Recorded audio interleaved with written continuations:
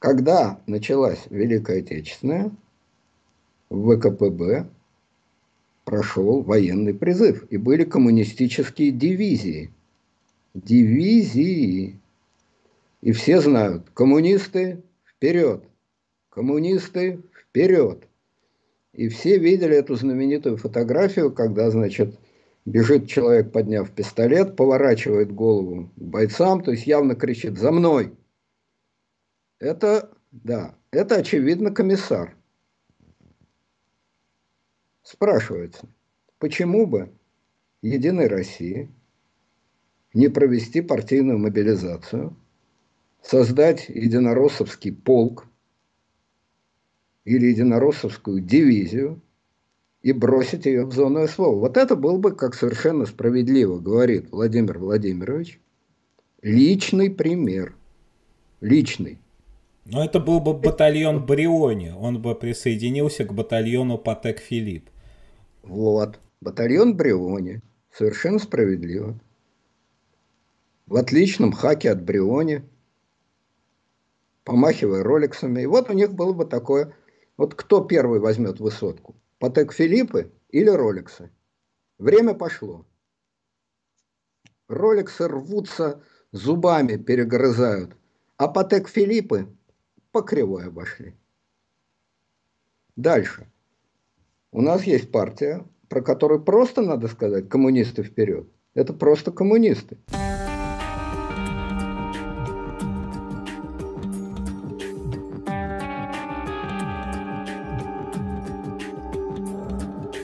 Здравствуйте, уважаемые слушатели! Это событие недели от 26 ноября 2022 года – я приглашаю всех подписаться на канал.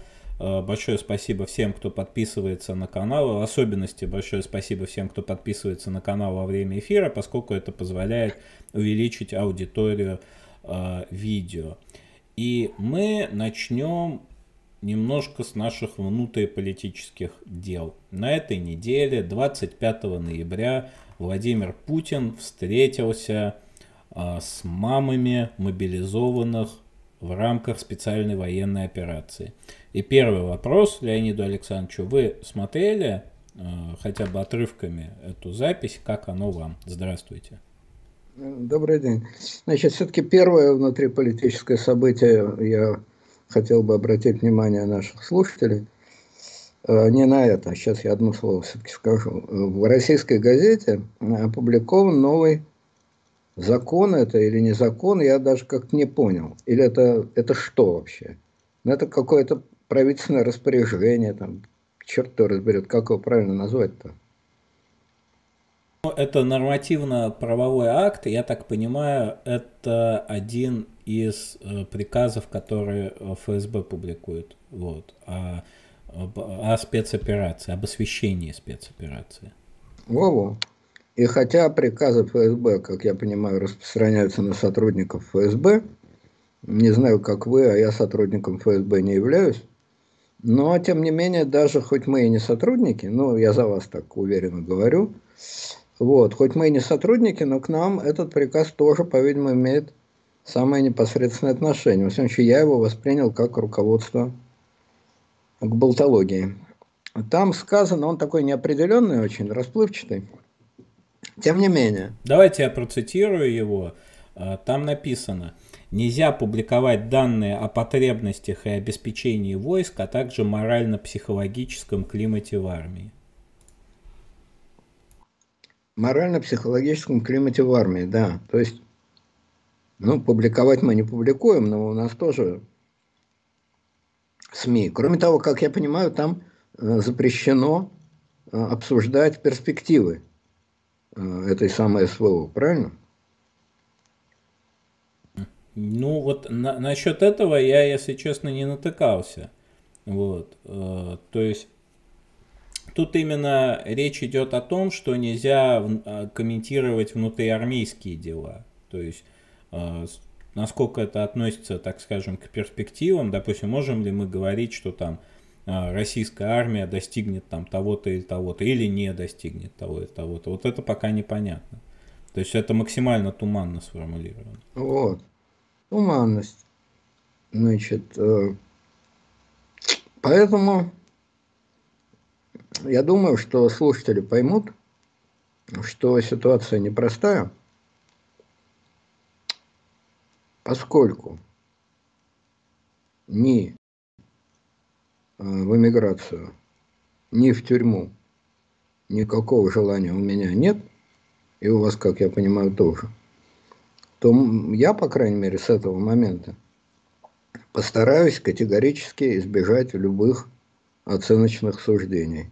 Потому что о моральном состоянии армии, о физическом состоянии армии, о моральном состоянии Путина, о физическом состоянии Путина, и не только Путина, и других, значит, институтов власти. Нельзя, значит, нельзя. Может, оно и к лучшему, потому что оценки сейчас действительно мало кому нужны. Вот. Некоторые события настолько яркие, что, по-моему, не нуждаются в оценках, тут все говорит само за себя. Но вот, скажем, обстрелы, ракетные обстрелы украинских городов. Ну, нуждается это в моральных оценках? Нет, не нуждается. По-моему, каждый человек в состоянии сам вынести моральное суждение по этому поводу. Поэтому, значит, я думаю, что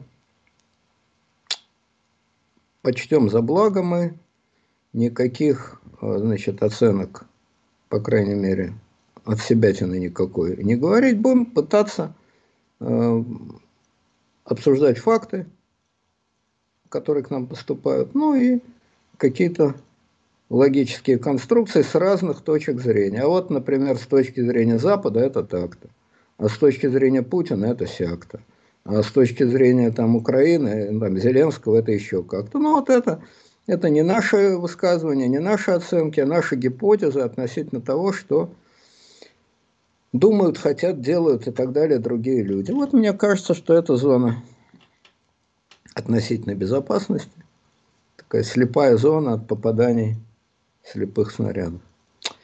Ну вот, теперь что касается, значит, сегодняшней э, встречи. Я ее всю не видел, я не уверен, что она вся в интернете вообще выложена. Я видел, по-видимому, начало, вот, которое часто прерывалось почему-то, то есть как будто кадр на кадр накладывался.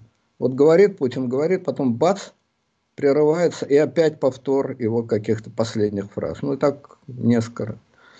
Вот, ну не знаю, с чем это связано, но тем не менее, то немногое, что я слышал, я слышал где-то минут там 5-6, а, произвело на меня большое впечатление, должен сказать. Ну, давайте начнем с самой бойкой цитаты – которая, я так понимаю, больше всех э, интересует. А, Владимир Путин сказал матери погибшего военного, что ее сын не зря ушел из жизни, и теперь его цель достигнута. В частности, он пояснил, вот у нас в ДТП погибает примерно 30 тысяч человек, от алкоголя примерно столько же. Ну, к сожалению, к сожалению, в смысле Владимира Путина. Так жизнь складывается. Жизнь сложна и многообразна, сложнее, чем где-то в бумажках написано. Некоторые ведь живут или не живут, непонятно. И как уходят, от водки или еще от чего-то, непонятно. А потом ушли, жили или не жили. И незаметно жизнь пролеснулась как-то. То ли жил человек, то ли нет. А ваш сын жил, его цель достигнута. Кстати, о целях он тоже сказал. Он сказал, как обычно, что они будут достигнуты. Вот как мы это прокомментируем? Это все-таки а, важный и моральный аспект этот спич имеет. Да, вот я как раз о моральном аспекте, ну, применительно немножко к другой теме, но сейчас я об этом скажу, хотя сам этого не слышал. Вот. Я, честно говоря, не очень понимаю, почему Путин был уверен, что сын этой женщины обязательно сопьется или попадет в ДТП. По-моему, биографию этой женщины, биографию сына он едва ли знал. Поэтому мне кажется, что совершенно не факт, что он попал бы в число 30 тысяч умерших от алкоголя, от э, ДТП. Вот. Но в любом случае он сделал утешительный для матери вывод, что, по крайней мере, уж точно, что, как у Высоцкого, лучше уж... Нет, у Высоцкого не так, я извиняюсь, Высоцкий по-другому рассуждал. Вот, э, значит... Э, а нет, Высоцкий также, да, смотрите-ка, он про альпинистов писал. Так? Что, значит, сорвался там, я не помню точно цитату. Так лучше, чем от водки и от простуд. Так лучше, чем от водки и от простуд. Другие придут, сменив уют на риск и непомерный труд, пройдут тобой непройденный маршрут. Вот, значит, он а, посильными словами утешил мать, сказав, что ваш сын, по крайней мере, алкоголиком не станет, от алкоголизма не умрет, в ДТП не попадет. И вообще, значит, его цель тоже немножко странно, потому что ведь Путин не знал, какая цель в жизни была у этого парня. А может, он хотел стать ботаником или учителем школьным, или президентом России, например. А почему нет? Ну, в общем, я не знаю, почему Владимир Владимирович решил, что он знает цель жизни этого парня, но цель достигнута. Ну, я не знаю, может быть, мать его и поблагодарила, сказала спасибо, Владимир Владимирович, может быть, без вас бы он этой цели и не достиг, и зря бы прожил жизнь. И так бы жил, что и не поймешь, жил он или не жил. А так вот, в какой-то степени благодаря вам он достиг цели. Так что спасибо сердечное. Я реплику матери ответную не слышал, поэтому ничего сказать не могу. Вот, но то, что вот я слышал, тоже на меня произвело определенное впечатление. А, потому что Владимир Владимирович начал с того, что того, что значит, не хочется говорить какими-то казенными фразами, банальными. И сказал фразами неказенными, что для матери дети это самое ценное, в особенности для матери, потому что мать рожала, мать кормила, мать вынашивала. Но это действительно простая мысль, но все-таки не казенная. И высказана была так, вполне не по-казенному.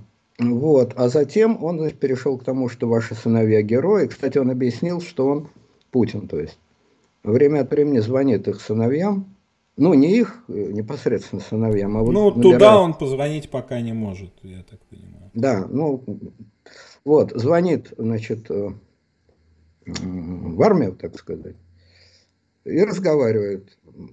По-видимому, прикидывается кем-то. Я так думаю, что он не своим голосом разговаривает. Потому что если он скажет «Здравствуйте, я Путин Владимир Владимирович», представляете, что он в ответ услышит? Он ведь такое услышит, он что... скажет опять этот безумный Галкин звонит и прикидывается Путиным. Ну, ну что-нибудь, это, это так, знаете, в переводе на ну, цензурный язык. А, вот, поэтому я думаю, что он не своими голосами, но расспрашивает людей, вот я там звоню, допустим, из Красного Креста, как у вас тут?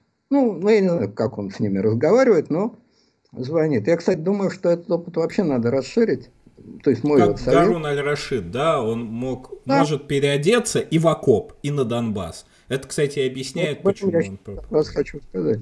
Но я бы в более широком плане. Ведь можно звонить вообще людям случайно. Ну вот я сижу тут, вдруг звонок. Здравствуйте, как я могу к вам обратиться? Ну, я там говорю. Я из компании Билайн. Мы хотим понизить вам тариф. Если вы пойдете добровольцем э, в СВО, то после 1000 рублей разговоров будет понижен тариф на 30% при разговорах из Москвы и на 70% при разговорах из зоны СВО. Как вы относитесь к такому предложению? Вот с помощью таких микросоциологических опросов Владимир Владимирович мог бы узнать реальное отношение людей к СВО. Не значит, от социологов, а непосредственно звонить, спрашивать. Или там, допустим, я из компании «Утконос». Есть такая. Вот мы, у нас такая инициатива, людям, которые участвуют в СВО, мы дарим 5 бутылок воды «Святой Источник» бесплатно. Если вы представите справку, что вы собираетесь в зону СВО, то 5 бутылок «Святого Источника» вы получите завтра. Как вы, готовы ли вы при таких условиях отправиться э, в зону СВО? Ну, что-нибудь такое. Это фантазия и это бы очень богатую дало социологическую информацию о том, как люди в разных регионах, так сказать. Вот. Ну ладно, это не более чем мои верноподданные пожелания. Но, значит, рассказав этим матерям, что самое дорогое э, это дети, и что наибольшее, э, наиболее тесные отношения у ребенка именно с матерями, значит, рассказав им это. Путин дальше сказал, что они воспитали героев. А героев воспитывают не разговорами. Да, кстати, он произнес очень странную фразу, между прочим, что не надо верить телевизору и интернету. Я не совсем понимаю, по-моему, люди, с которыми он разговаривал, едва ли смотрят украинское телевидение или CNN или Fox News. Поэтому не совсем понятно, какому телевизору они не должны, по мнению Путина, верить. Первому каналу. Соловьеву, Скобеевой. Не должны верить. Так иначе, логически иначе не получается, потому что он прямо сказал, что не надо верить телевизору. Может быть, он имел в виду, что э, не надо смотреть CNN или э, Fox News, но тогда бы он так и сказал. А он сказал телевидению вообще. Нет, телевидению, на котором, кстати, выступает, есть передача «Москва-Кремль Путин», которую ведет Соловьев, где регулярно э, выступает Дмитрий Сергеевич Песков, и вроде как я до этого момента думал, что он выражает официальную точку зрения, ну уж как минимум администрации президента. Оказывается, нет, нельзя ему верить, пургу несет. Так понимаете, тут вообще непонятно, чему верить. Собственно говоря, это, эти слова Путина тоже прозвучали, между прочим, по телевизору. Так, если разобраться. Да, ну Владимир Путин говорит, что сейчас вы, уважаемый россиянин, будете верить своим бесстыжим глазам, а не моим честным словам. Вот. В общем, я не с телевизором, я, честно говоря, не совсем понял. Это какой-то это какой-то парадокс, это абсурд какой-то, как сказал бы один из предшественников Владимир Владимирович. Ну ладно, нельзя так нельзя. А вот про личный пример, про воспитание личным примером, эти слова на меня действительно произвели очень большое впечатление. Эта мысль действительно не казенная, не заезженная. Мысль, во-первых, действительно свежая, а во-вторых, очень справедливая. Но Поскольку Владимир Владимирович говорил не вообще обо всем на свете, так сказать, а конкретно о том, что вот в связи с СВО люди воспитываются личным примером. Ну и мне пришла в голову, по-моему, вполне естественная мысль. А чьим личным примером? Ну вот, например, давайте пойдем от конкретного к общему. Ну вот, например, у нашей страны есть группа руководителей, которые начали СВО по всем известн... со всем известными целями, как обычно говорят. Эти цели настолько общеизвестны, что их обычно не перечисляют. Дескать, и так все все знают. Хорошо, все все знают. Я, например, не знаю, но неважно. Группа людей начали СВО рассуждая в логике Владимира Владимировича, именно эти люди, именно своим личным примером, личным, должны воспитывать тех людей, которые отправились в зону СВО избежать многих опасностей, не спиться, не погибнуть в автомобильной аварии и вообще достичь определенной цели в жизни. Логично? Логично. Как они могут это сделать? Ну, по-моему, это очень просто. Ну, вот, например, есть наиболее неистовый Роланд, наиболее неистовый пропагандист СВО, самый непримиримый, самый отчаянный, все его знают, это Дмитрий Анатольевич Медведев. Может он показать личный пример? Вы хотите сказать про Илью Медведева? Совершенно справедливо. У него есть сын, вполне призывного возраста. Не так давно этот сын вернулся из Соединенных Штатов. До этого он в этом году вернулся, кстати. Уже шла СВО, а он учился в Соединенных Штатах. Какой это личный пример? Это личный пример любви к родине. Находясь во вражьем тылу, в окружении отчаянных русофобов, он высоко поднял факел любви к родине и держал его, несмотря на все опасности с этим связанные. Да уж что мелочиться, как Данка осветил, так сказать. Ну, это, это, это ваши слова. Мне сохранность здоровья Ильи э, Анатольевича. Нет, Ильи Дмитриевича, он все-таки его сын, а не брат. Ну да, а Ильи Дмитриевича, мне сохранность здоровья Ильи Дмитриевича очень даже дорога. Но, казалось бы, довольно естественно, что личным примером Илья Дмитриевич может зажечь многих и отправиться в зону СВО. Более того, я практически на 100% уверен, что он это и сделал. Просто. Из скромности, ради того, чтобы не создавать нездоровые сенсации. Об этом помалкивают. И это совершенно неправильно. Потому что если бы об этом все знали, то это был бы как раз пример личного примера. Что человек личным примером у Сергея Владиленовича Кириенко есть сын. Он талантливый предприниматель. Говорят, мультимиллионер. Ну и что?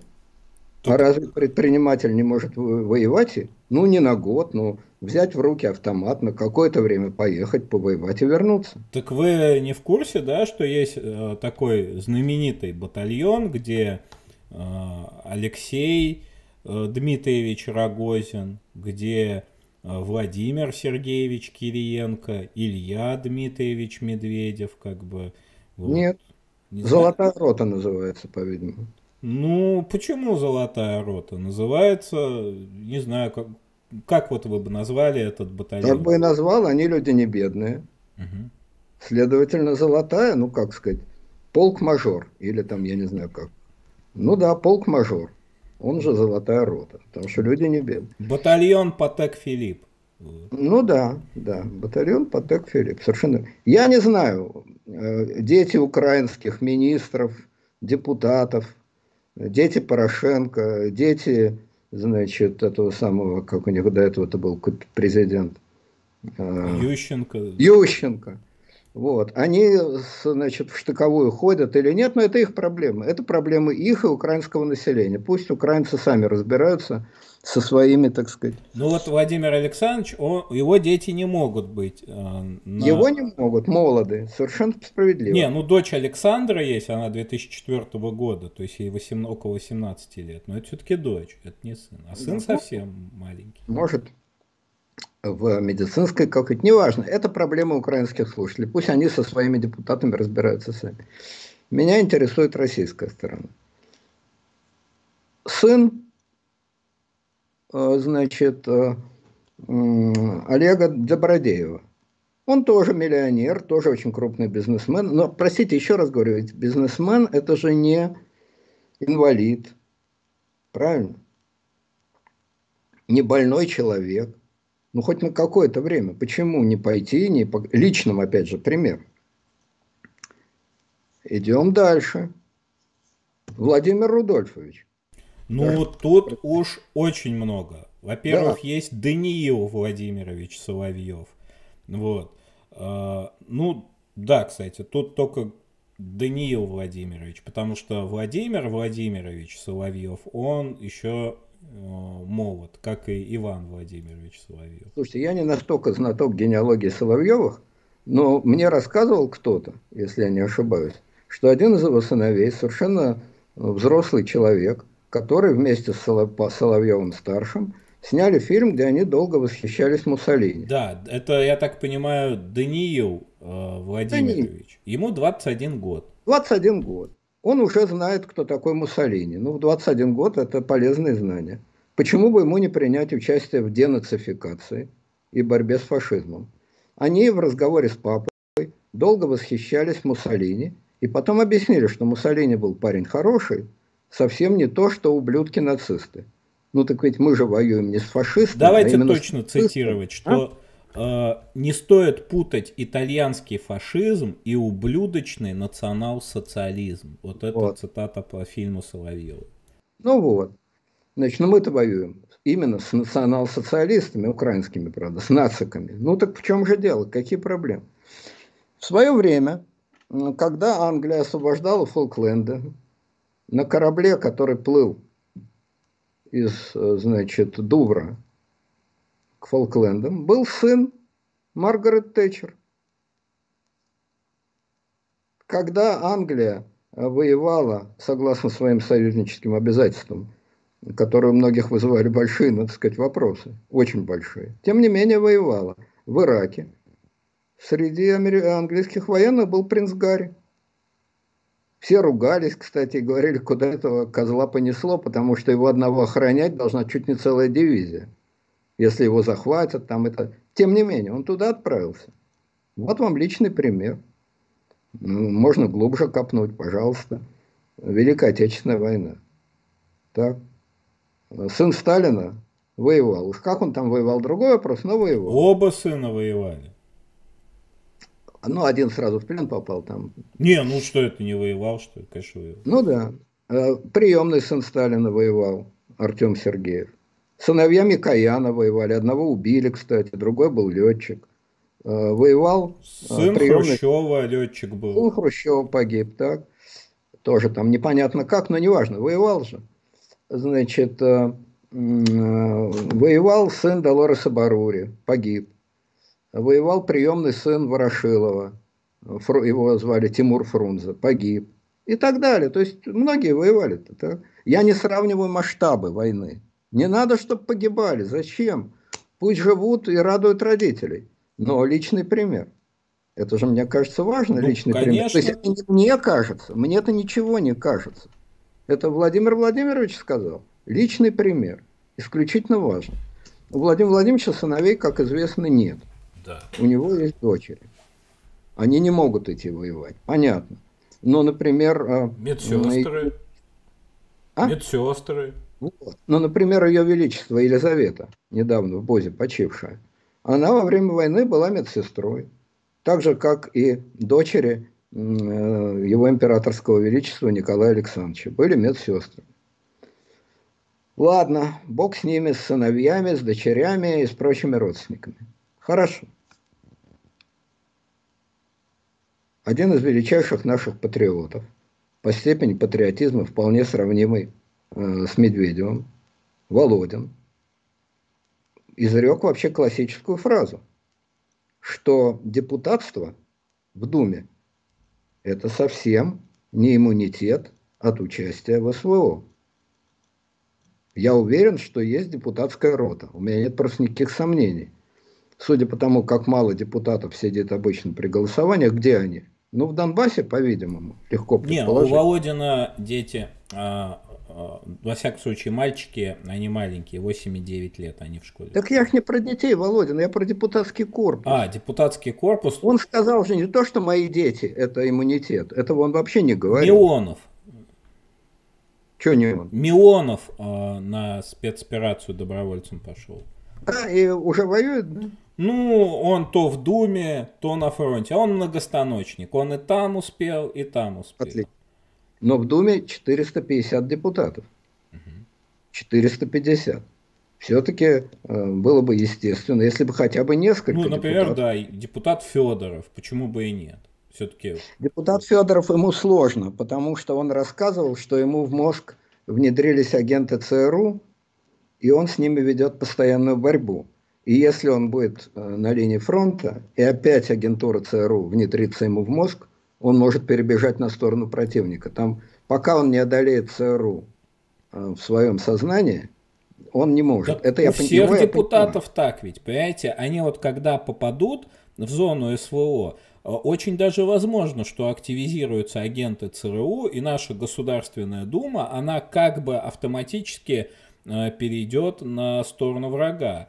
Шутка ли? Потом увидим в Конгрессе сидящим Милонова, там Федорова и так далее. Вот. И поэтому... Ну, не знаю. во всяком случае, вот когда была Первая мировая война, то многие депутаты Государственной Думы, они не переставали быть депутатами, но они создавали санитарные поезда, некоторые шли воевать, несколько человек погибло, кстати. Вот был санитарный поезд, которым командовал известный черносотенец и думский хулиган Пуришкевич Владимир Митрофанович, о котором мы все знаем из «12 стульев» вопрос. А правда, что Пуришкевич был лысый? Правда, он был лысый. А кроме того, правда, что он воевал на фронте. Ну, по крайней мере, у него был санитарный поезд. Вот это известный факт. Да? Ну, хорошо.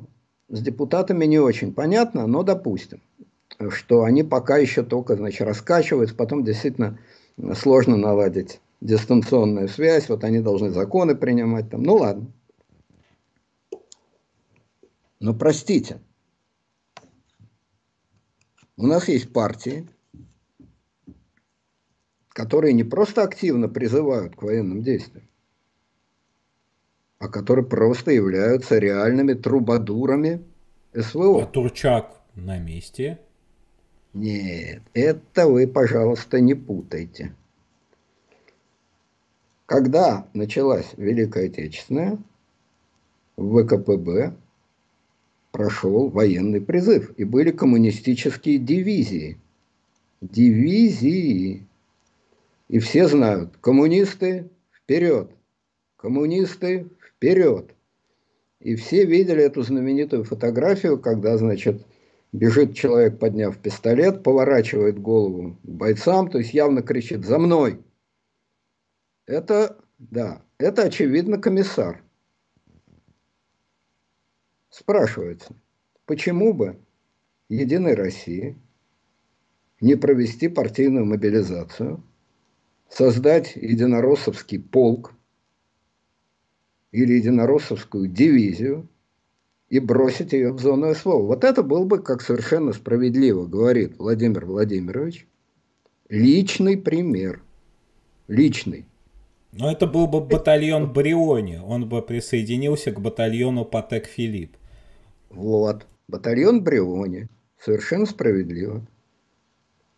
В отличном хаке от Бриони, помахивая роликсами. И вот у них было бы такое, вот кто первый возьмет высотку, Патек Филиппы или роликсы? Время пошло. Роликсы рвутся, зубами перегрызают, а Патек Филиппы по кривой обошли. Дальше. У нас есть партия, про которую просто надо сказать коммунисты вперед. Это просто коммунисты. Просто коммунисты. Самые яростные сторонники специальной военной операции. Более яростных я знаю, сейчас скажу и о них.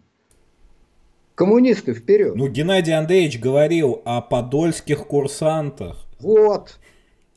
С языка сняли с языка сняли.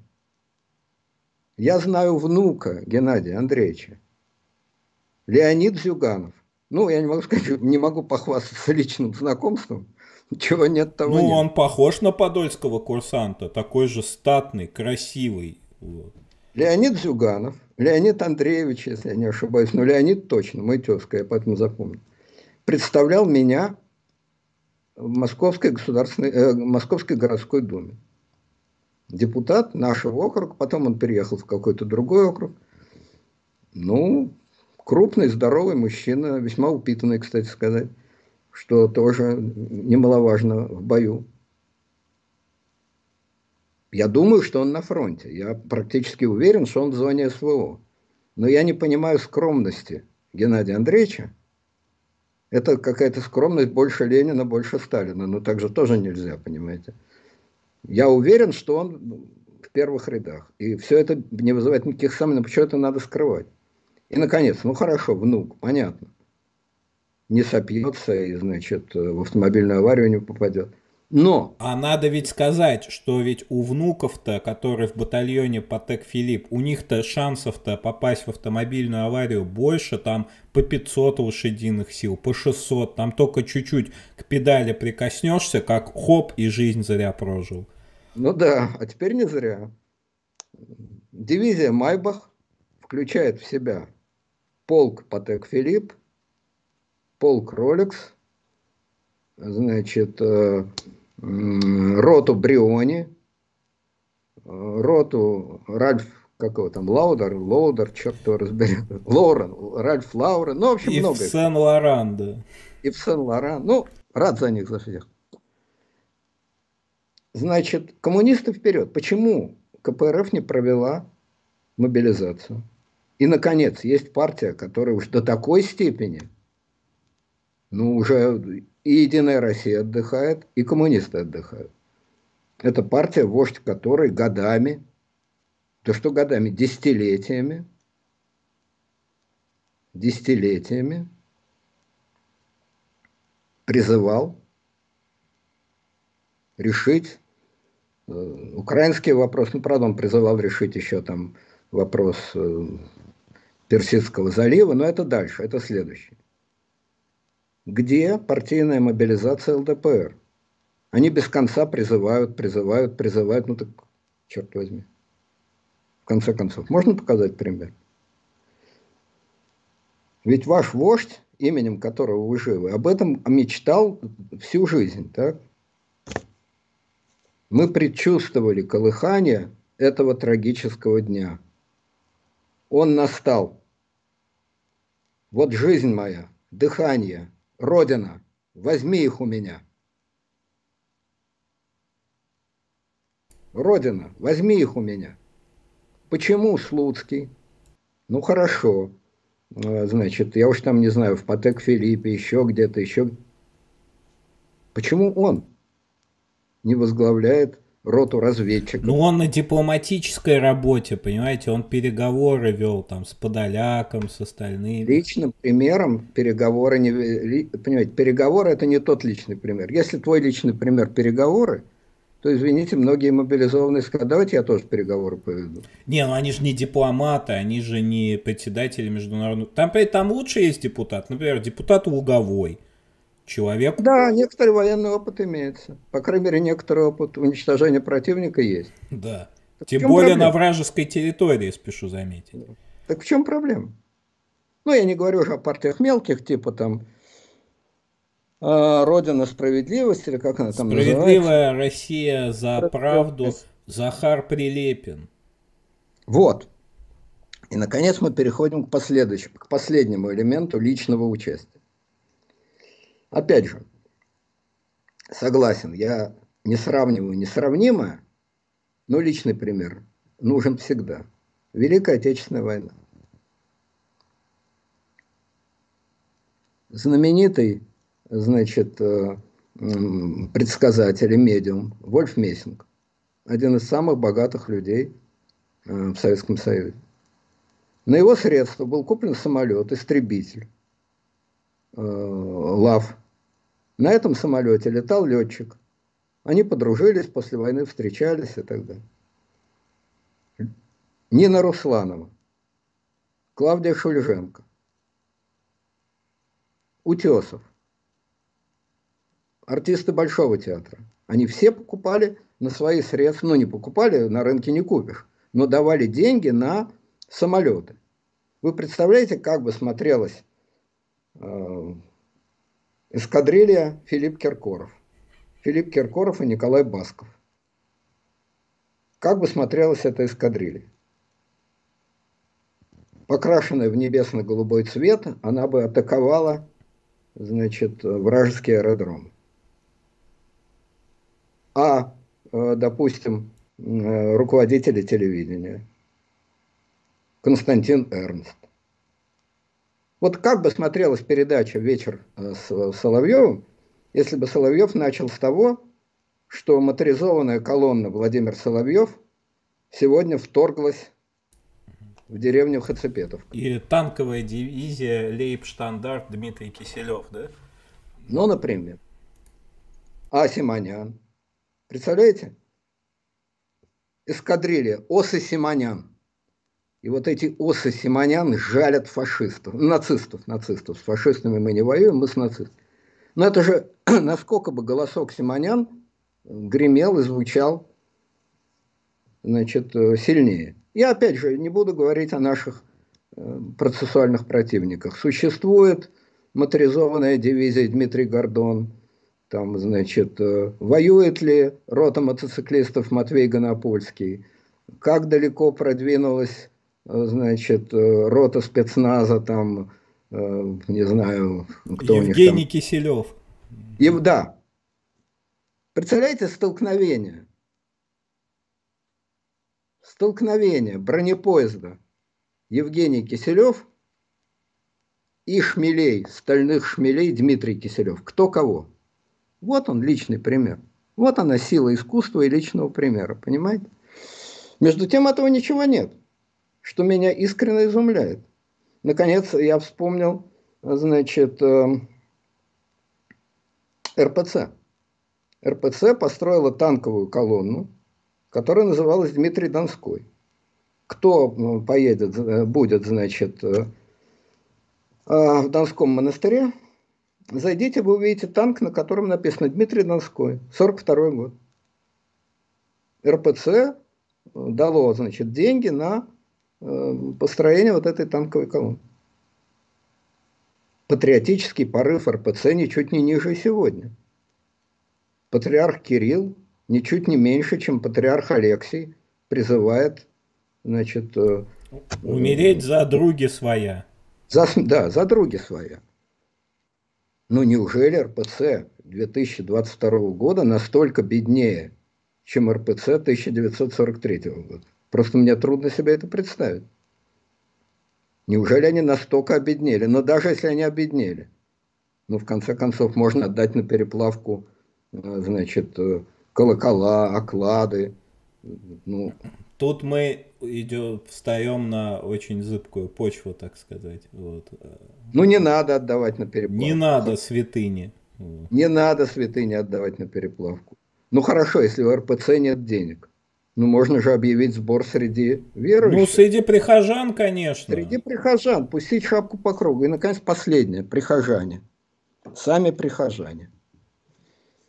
Ну, прихожане-то разные бывают, понимаете? Мы все знаем о 200-метровой яхте с гордым названием «Князь Игорь». Ну, а крейсер «Князь Игорь» Плохо бы смотреть. Черноморский флот, его вообще можно отдать Мордашову, Сечину, там, Миллеру. Я там про Сечина. Э, э, значит, яхта «Князь Игорь» принадлежала конкретно Игорю Ивановичу. Да. Так почему не создать крейсер «Князь Игорь»? Есть, у нас есть значит, бизнесмены, которые как-то никак себя не ознаменовали в ходе этой спецоперации.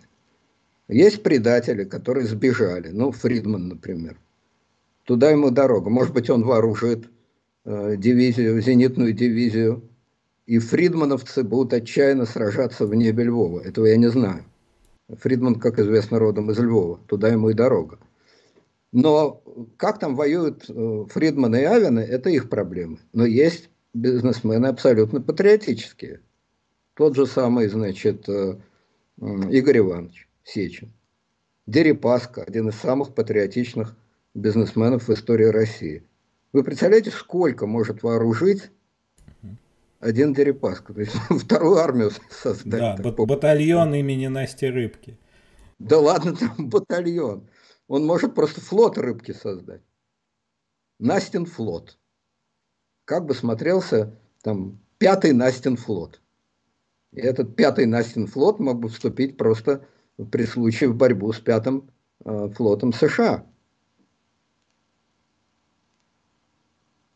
Поэтому я к чему весь этот длиннющий спич произнес?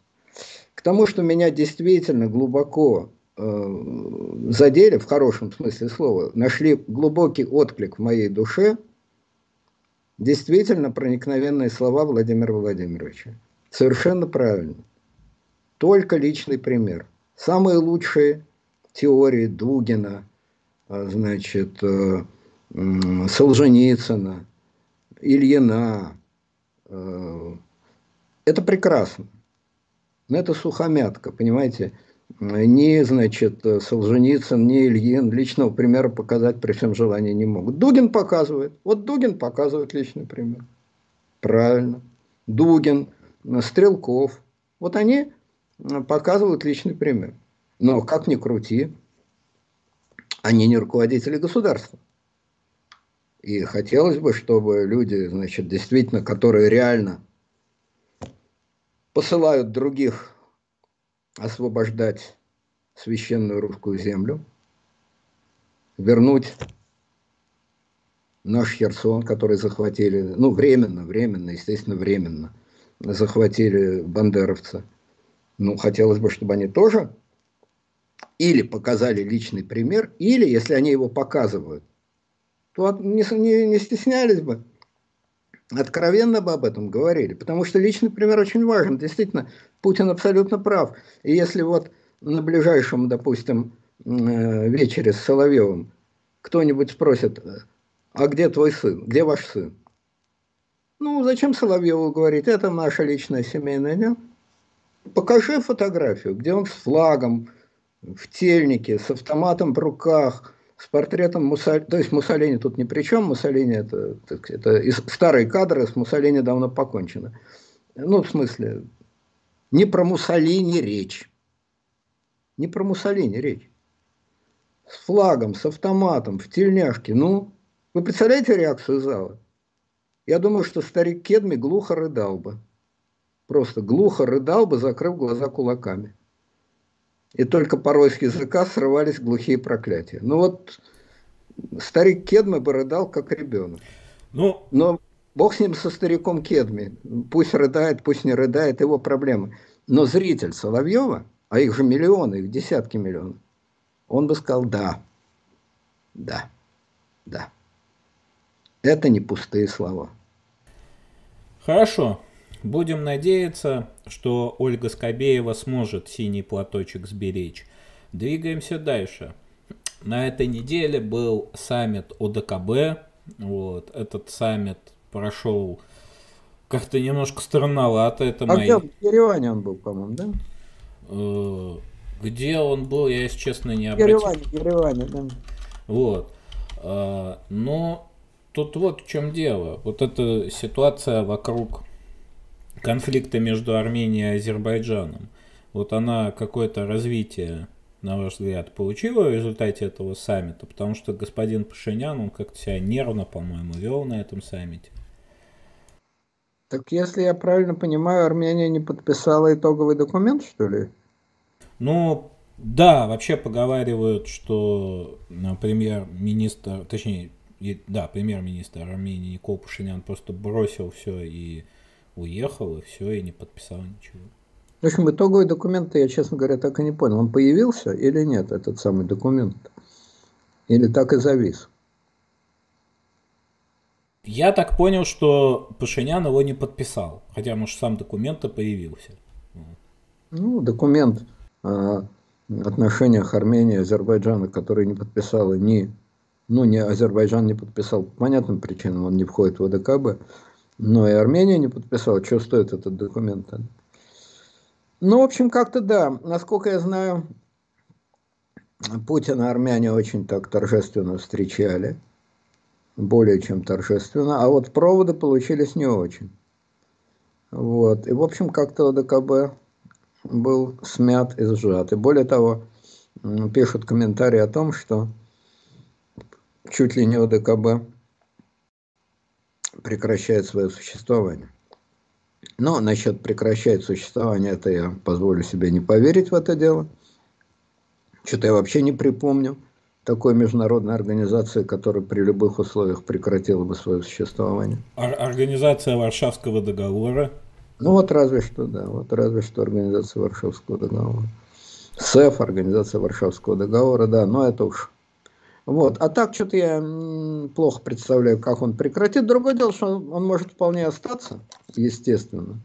Но из него жизнь уйдет. Но вот СНГ, оно же есть, есть. А что толку-то от того, что они собираются и друг на друга глядят?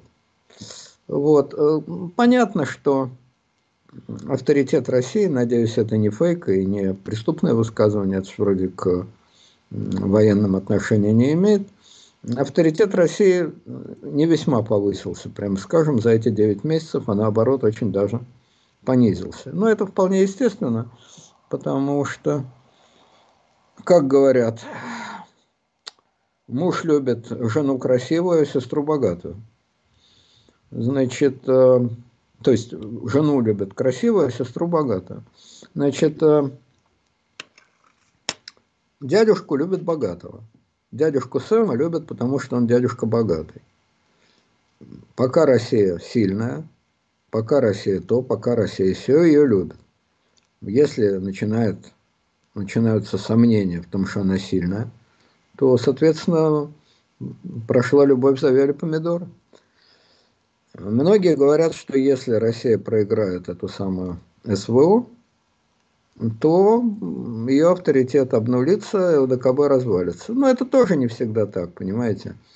Американцы с грохотом проиграли Вьетнамскую войну. Ну и что? НАТО развалилось? Нет. Э, там, значит, авторитет Америки рухнул? Нет. Но здесь есть одно но, очень существенное. Безусловно, проигрыш в Вьетнамской войне не добавил авторитета Америки, но кроме военного авторитета, у Америки было еще тысяча других авторитетов от мягкой силы. И доллар, э, как, значит, э, единая валюта. Тогда, в 70-е годы, это вообще была универсальная мировая валюта.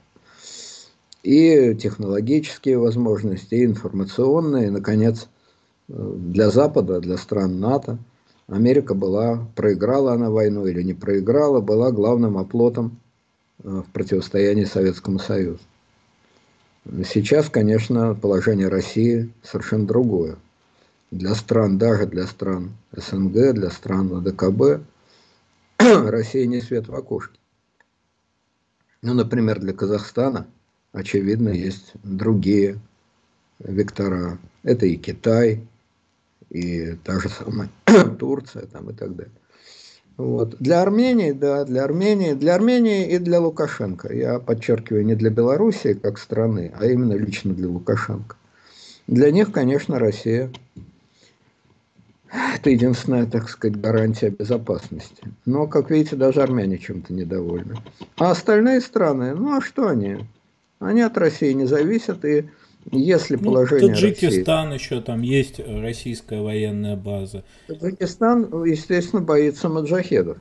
И для них Россия защита от нападения из Афганистана. Это правда. Нападения исламских фундаменталистов. Это правда. И никто, кроме России, эту роль играть, по-видимому, не рвется. Никакой Китай защищать Таджикистан не будет. Это верно. Таджикистан, Киргизия. Но даже они могут начать разговаривать с Россией на другом, в другой тональности, на другом языке и так далее. Но это известное дело. Тех, кто показал слабость, а если это самое СВО не закончится э, успехом для России, то, конечно, это слабость. Естественно, а со слабыми все разговаривают как со слабыми. Вот. Ну, для меня, например, как для гражданина России, это не великое несчастье. Будет там ОДКБ, не будет ОДКБ. Мне от этого вообще ни тепло, ни холодно. Но для российской дипломатии, для российских, значит, а, для российского самосознания, ну, попросту говоря, государственного хвостовства, для них, конечно, неприятно это было бы. Но данный саммит, в общем, ничего особо радостного России не принес. Там были э, высказывания всякие интересные, но к саммиту не относящиеся. Но знаменитая фраза Лукашенко, что э, Украина будет вообще уничтожена полностью. Он это сказал, насколько я понимаю, э, на саммите, и Путин стоял рядом. И Путин вроде промолчал, ничего не сказал.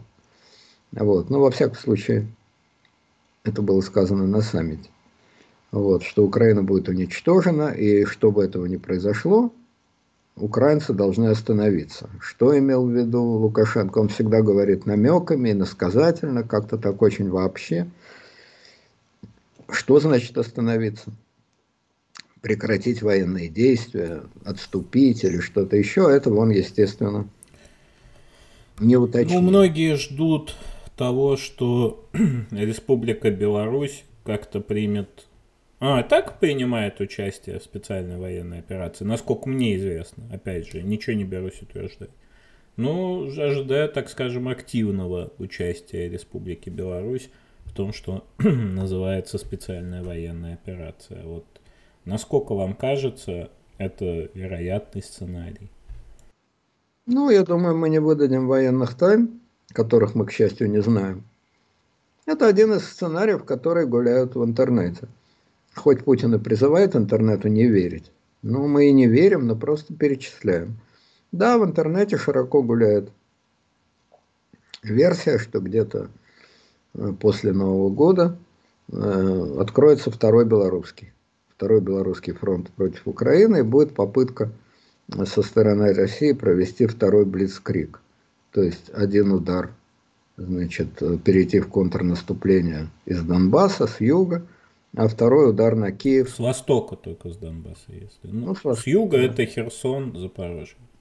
С востока. А второй удар на Киев с запада из Беларуси. С севера, получается. Севера, да, ну с северо-запада, скажем так. Это версия, о которой постоянно пишут, никакого тут секрета нет, ее живо обсуждают. Ну, трудно сказать, будет это или не будет. Для этого, по-видимому, очень много условий должно сойтись. Да? Вот, значит, э, вот Путин сегодня на вопрос какой-то женщины на, этом, на этой своей встрече, что она вот боится, что будут призывать, он как-то ответил, ну, хватит уже.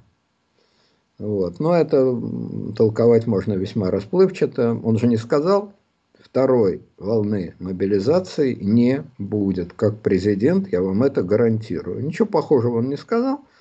Он очень неопределенно сказал, ну хватит уже. Ну хватит, не хватит. Многие говорят, что вполне возможно это вторая волна, это очень тоже живо обсуждается. Но если соберут второй кулак, то могут попытаться российская армия, может попытаться значит, второй, вторую попытку Блицкрига сделать. Вот. Я человек не военный, какие шансы у России были бы, я не знаю. Наверное, какие-то были бы, но во всяком случае, мне кажется, что психологически для а, Путина это не самое а, удобное решение. Все-таки а, Путин сторонник того, чтобы оставлять какой-то запасной вариант. Вы можете сказать, ну а как тогда 24 февраля? Это был необратимый поступок. Уже никакого запасного варианта он себе не оставил. Да, это верно. Это действительно, конечно, так. Поэтому, собственно, многие не верили, что это будет. Я вот не верил, и другие не верили. Но он рассчитывал, он, Путин, явно рассчитывал на повторение а, крымского варианта 2014, просто в большем масштабе. Это не получилось. А, вторая попытка крупного блицкрига, но это очень рискованный шаг. Если она тоже не завершится успехом, то это может э, тяжело, очень тяжело сказаться на армии. Давайте да и спросим у наших слушателей, насколько им кажется вероятным повторение э, сценария 24 февраля еще раз. То есть то, что в России называется «можем повторить». Можем ли повторить? Э, и, собственно, давайте очер... очертим временные рамки. Ну, То повторить есть... имеется в виду, а, повторить не результат, который заранее просчитать-то невозможно. Да. Повторить а попытку. наступление, крупное наступление, попытку Блицкрига вот действительно с двух сторон, с востока и а, из Белоруссии. Открытие Белорусского фронта. Насколько оно вероятно? Вот так я бы сформулировал этот да. вопрос. Э, соответственно, вариантов ответа, как обычно, минимум, чтобы не распылять, так скажем, голоса, да или нет. Вот. Опять же, речь идет о перспективе, ну, до весны, так скажем. Весной мы с вами этот итог подведем, потому что э, по версии, которые, о которой я говорил месяца два или три назад, э, это должно быть, ну, после Нового года явно, не до Нового года. Ну, во всяком случае, это вариант с военно-технической точки зрения, не берусь просчитывать. Но психологически, мне кажется, это очень э, крупная ставка на одну э, карту. И я не уверен, что Путин готов к такой крупной ставке. Тем более, что у него вполне может быть другой расчет.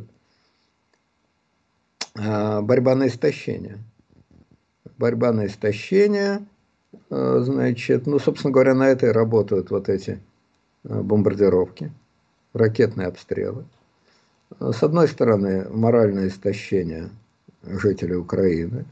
С другой стороны, расчет на то, что устанет им помогать, им Украине, то есть, э, устанет помогать э, Соединенные, устанут помогать Соединенные Штаты и страны НАТО.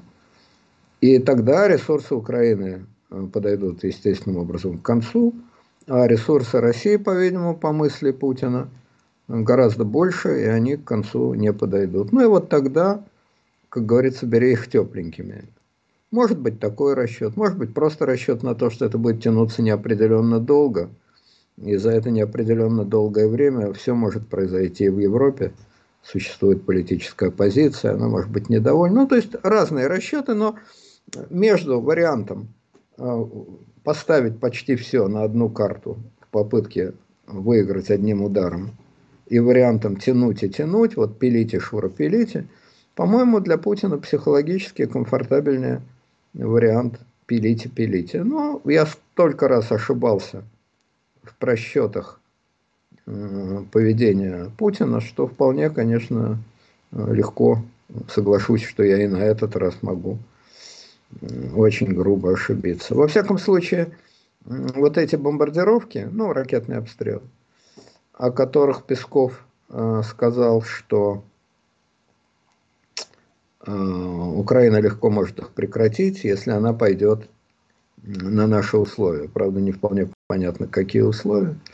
Но, по-видимому, имеется в виду прекратить военные действия, зафиксировав ту линию э, фронта, которая сейчас проходит. Вот. Это Песков говорил, это и Лукашенко в более грубой форме сказал. Ну, мне кажется, это расчет не совсем правильный. Э, руководство Украины на это никогда не пойдет. Э, кроме того, как я понимаю, население Украины от того, что их э, они остались без света, без электричества, это вызывает, по-видимому, большинства людей нежелание сложить лапки и значит, пойти на все условия, наоборот, ожесточение, ну и так далее. Ожесточение в населении, ожесточение в армии. В общем, это скорее сжимает пружину, чем э, растягивает ее. Ну и реакция Европы тоже э, неблагоприятная. Европейцы рассматривают это и говорят, во всяком случае, вот так сказал Макрон, который довольно умеренных в отношении России взглядов. Он сказал про военное преступление. А Папа Римский, который постоянно призывает к миру, сравнил это дело не более не менее, это дело обстрелы ракетные, не более не менее как с Голодомором. И вообще европейская пропаганда, которая действительно, по-видимому, немножко устала от Украины, она под влиянием вот этих э, обстрелов опять, значит, возбудилась и говорит, что это военные преступления и всякая такая штука. А вот, значит, Европарламент внес Россию в список стран спонсоров терроризма. Это вроде просто резолюция, просто болтовня, резолюция Европарламента, как известно, юридической силы не имеет. Но написали и написали. Но это дополнительно усиливает э, политическую изоляцию России, э, выталкивает ее во вполне определенное поле. Если вы так, вы, европейцы, так долго говорите про террор, про военные преступления и так далее, то вы потом, вы европейцы, потом не сможете в один момент изменить точку зрения. Общество накачали. Таким образом, репутация России, которая за эти месяцы претерпела всем известные изменения, она продолжает меняться все в ту же сторону ухудшения, обвинений в адрес России и так далее. Во что это конвертируется Материально судить трудно. В поставке ли оружия в отношении Украины. Вот сейчас, как известно, решается вопрос о потолке цен на русскую нефть. Около 60 долларов, хотя многие призывают э, ввести потолок в 30 долларов. Но Россия... Поляки. А? Это поляки. Не только поляки, Украина еще тоже. А, но российская позиция Министерства энергетики и вице-премьера, по-моему, он вице-премьер Александр Новак, он говорил, что в случае введения хоть какого-либо потолка цен Россия не будет продавать ресурсы. Ну, продавать-то, сказать-то легко. Только ведь, как я понимаю, тут беда в чем? Что это ведь сообщающиеся сосуды.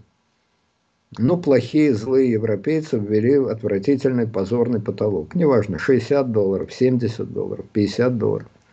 Мы с ними торговать не будем, а куда мы ее денем?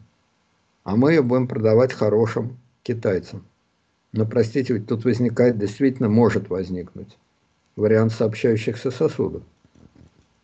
Китайцы знают, что в Европу Россия нефть продать дороже, чем за 50 или 60 долларов не может. Так почему, собственно, китайцы будут покупать дороже? Из каких таких соображений?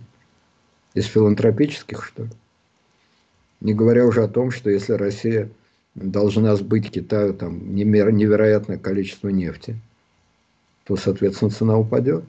Поэтому это очень так, знаете, пропагандистски звучит, конечно, сильно. Вот европейцы, сволочи, ввели эмбарго, по ним же ударят. Опять наступили на грабли эти евроидиоты. Мы им поставлять не будем, у них цена, значит, поэтому вырастет там до 150 долларов, а мы будем поставлять Китаю. Очень мило. Но, во-первых, Китаю не нужно, наверное, так много. Разве что для перепродажи той же самой Европе. Только уже по другим ценам. А во-вторых, еще раз, ну а почему, собственно, Китай будет покупать по дорогой цене? Он знает, что кроме как по 70 Россия сбыть свой товар особенно некуда. Ну, он и будет покупать по такой же цене. Я только не объявляю, что это там э, потолок, не занимаясь политическими какими-то, значит, декларациями, но по сути-то. Ну, так мне кажется. Я человек ну, по нефтяным делам неопытный, э, но по здравому смыслу это сообщающиеся сосуды, и Россия тут может крепко нарваться. Как, между прочим, нарвались и с газом. Ведь тоже все твердо говорили, сдохнут эти европейцы – мы попадем в газовый рай, а они просто сдохнут от холода. Ну вот не сдохли, не сдохли и не собираются. И Шольц вот тут недавно заявил, что все удивляются, как быстро мы, европейцы, смогли приспособиться к отсутствию русского газа. Ну, наверное, он немножко выдает желаемое за действительное, но, в общем-то, приспособились, действительно. Ну, правда, повезло еще в том отношении, что зима относительно теплая в этом году. В общем, короче говоря, этот самый потолок штука для России неприятная. Может, он и для Европы неприятный, но для России это неприятно, потому что э, на крайняк та же самая русская нефть попадет в Европу только кружным путем, через Китай. Китай купит, а потом перепродаст. Да, в процессе перепродажи, конечно, она подорожает, естественно. Если надо танкеры гонять из Тихого океана, извините, в Атлантический, вместо того, чтобы по трубе. Ну, это как мои вольные фантазии. Наверное, специалисты посмеются, скажут, нет, это будет не так. Может, и не так, но... Вот, в общем, экономическое положение России от введения этого самого потолка, очевидно, станет хуже. Станет ли хуже экономическое положение Европы? Судить трудно. Наверное, лучше не станет точно. Но все-таки, учитывая размеры российской экономики и европейской экономики, мне кажется, что России это тяжелее придется, чем. Хорошо. Двигаемся дальше. На этой неделе событие, конечно, невеликое, но все-таки 22 ноября в районе Сокол, на площади Фиделя Кастро, на пересечении Новой Песчаной и Второй Песчаной улиц открыли э, памятник одному из ключевых вождей кубинской революции, команданта Фиделю Кастро Рус, а точнее Фиделю Алехандро Кастро Рус. На э, этой церемонии был президент Кубы Мигель Э, Диас Канель, а также Владимир Путин. Я знаю, что этот памятник, как и этот сквер, находится неподалеку от вас. И вы, я так понимаю, поскольку вы большой, так сказать, ходок в хорошем смысле, вот, вы этот памятник уже успели оценить. Вот, пожалуйста, поделитесь вашими впечатлениями, потому что большинство наших слушателей, подавляющие, этот памятник еще не видели вживую. Да, моя земля, крышую, можно сказать, эту землю. Значит, смотрите, кто представляет Новопесчаную улицу. Новопесчаная улица, она идет перпендикулярно Ленинградскому проспекту, выходит чуть-чуть за метро «Сокол». Но это такая московская топономика, не всем, наверное, интересно, не всем понятно. В общем, это улица Новопесчаная, очень хорошая, красивая. Улица, сталинские там дома, немцы строили после войны, невысокие дома. Этот район почему-то облюбовало международное коммунистическое движение. Там, значит, улица Вальтера Ульбрихта, причем в свое время чуть ли не Новопесчаную переименовали в улицу Ульбрихта, если я не ошибаюсь. Там улица Сальвадора Альенда, улица Луиджи Лонга, улица Георгию Дежу. Это вот была улица Георгию Дежу, теперь это вторая значит, песчаная улица. Почему именно там наваляли всех этих деятелей, понять я не могу. Ну так как-то, чем уж особенно этот район притягателен для этого Коминтерна, не знаю. Ну вот так повелось. Потом все эти улицы переименовали назад, нормальные русские названия, но Новопесчаная, она состоит из двух полос. Ну, кстати, еще памятник Эрнсту Тельману. Памятник Тельману это просто вот моя, э, мой грибочек такой домашний. Вот я под ним, как говорится, вырос под этим памятником. Но я шучу, памятник Тельману открыли, когда я был уже вполне взрослым человеком, в году эдак в 87-м. Открывал его, между прочим, твердокаменный большевик ЕБН. Тогда еще твердокаменный большевик. Твердокаменный Ельцин лично приехал открывать с таким задором, коммунистическим. А это он как память... первый секретарь московского горкома. Первый секретарь московского горкома, настоящий коммунист, который чистил Москву от накипи, от этой буржуазной, торгашевской, рыночной, отвратительной накипи, возвращал нас к ленинским святым принципам. Значит, очень они друг к другу подходили значит, Эрнст и Борис. Эрнст стоит, сжав, значит, в руке свою э, партийную кепку. Не, не вверх, а он ее как-то, значит, погодите-ка, вверх или не вверх?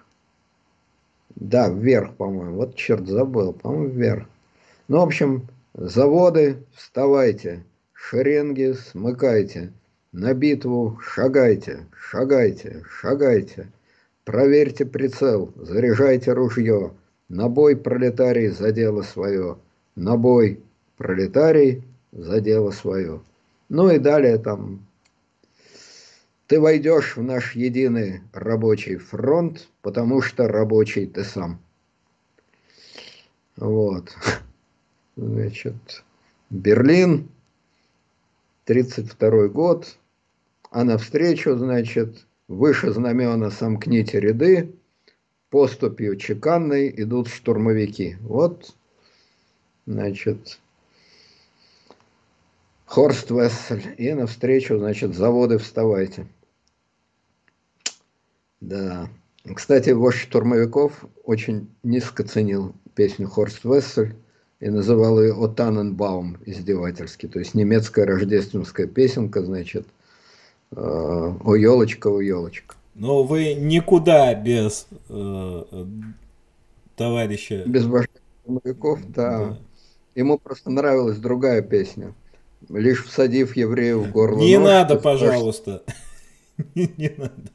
Вот. Ты поймешь, да, что мир хорош. Мир хорош. Ты снова скажешь, мир хорош. Ну, в общем, не важно. Короче говоря, вот, значит, эм, Эрнст Тельман, заводы вставайте, навстречу Хорст Вессель, побоище, романтика, революционная романтика. Не уверен, что Борис Николаевич тонко разбирался в особенностях э, немецкого коммунистического движения, но он представлял настоящий коммунизм, очистительную волну против застоя, против бюрократии, против торгашей, спекулянтов. Какой-то он у нас троцкист получается, ну ладно. Да, Совершенно правильно. И великий русский экономист, совесть России, одна из многих совестей России, Гаврил Харитонович Попов так и написал в своей статье, что это же троцкист. троцкист. Когда, значит, Ельцина выгнали из э, горком, ну, из политбюро, то совесть России Попов и вторая совесть России Егор Яковлев, они, значит, столкнулись на площадке главной совести России московских новостей, и Гаврил Харитонович там напечатал статью, что это троцкист, это левый уклонист, это троцкист, троцкистские извращения. Очень мощно прозвучало. Просто я помню, вот, вот оно чувство живого историзма, столь свойственное всем этим людям. Ну ладно, мы от Эрнста далековато уйдем, я там могу много про этот памятник рассказывать. Вот, значит, неважно. Короче говоря, значит, вот наш международный район. Так вот, в середине э, песчаной улицы, вот там такая, значит, ну как сказать, вот когда между двумя полосами движения идет такая дорожка из травы, как она называется, я не знаю, на градостроительном языке. Ну, такая, значит, полосочка узенькая. Ну, разделительная полоса. Она не разделительная, потому что она довольно широкая, там трава, ну, типа газон такой, понимаете? Ну, вот. представляю, да, я тоже небольшой. А газон. Ну, газончик и газончик. И вдруг выясняется, что никакой это не газончик, а, извините за выражение, площадь. Причем имени команданта Фиделя. Как говорится, вот уж действительно коммунисты вперед. Оказывается, этот пятачок ничем не замечательный, не огороженный, не таблички, ничего. Пятачок и пятачок. Этот пятачок аж в 17 году, в 2017 году, московская мэрия назвала площадь Фиделя Кастро. Ну, Фидель помер к этому времени, и вот в его честь никто об этом не знал. По крайней мере, ни один житель района Сокол, с которым я беседовал, понятия не Не, ну если бы в районе Сокол жил бы Рауль Кастро, вот он бы знал. Выгнан из Кубы. Но он, по-моему, живет на Кубе, если, не, если он жив еще. Я не знаю, кто жив, он не жив. В общем, короче говоря, вот на эту площадь э, перетащили, значит, э, сильно уменьшенный памятник Калашникову. Приклеили ему бороду за это. Размеры уменьшили, а бороду наклеили. И получился такой Калашников с бородой, но без автомата. Представьте картинку. Автомат отняли, бороду пришпандорили, и еще между пальцами засунули какую-то совершенно непристойную штуку, которая, естественно, у всех э, русских людей вызывает одну единственную ассоциацию, но называется она почему-то сигара. Ну, сигара так сигара. Это кому что нравится. Нет, это же хорошо, понимаете. Я думаю, что очень много памятников Владимиру Ильичу, с них можно кепку снять и переделать их в памятники Владимиру Владимировичу. Без Владимиру Вольфовичу даже. Нет, Владимиру Вольфовичу там нужно помассивнее памятники. Там памятники, не знаю, вот много ли памятников Ивану Андреевичу Крылову? Вот если с Ивана Крылова сбрить бакенбарды и куда ему сделать попышнее, вот, пожалуйста, Жириновский. Ленинов, ну, Путина, кого еще? Помните? Если сбрить усы, вылитый. Ты зачем чудик усы сбрил? Вылитый, вылитый Вовка Крынкин, или как его там звали. Ну, естественно, это я э, бессмертную бриллиантовую руку цитирую. Вот если, значит, Калашникову пришлеп, переплавить автомат на бороду и пришлепнуть эту бороду, и между пальцами зачем-то засунуть, ну, назовем ее сигарой, допустим.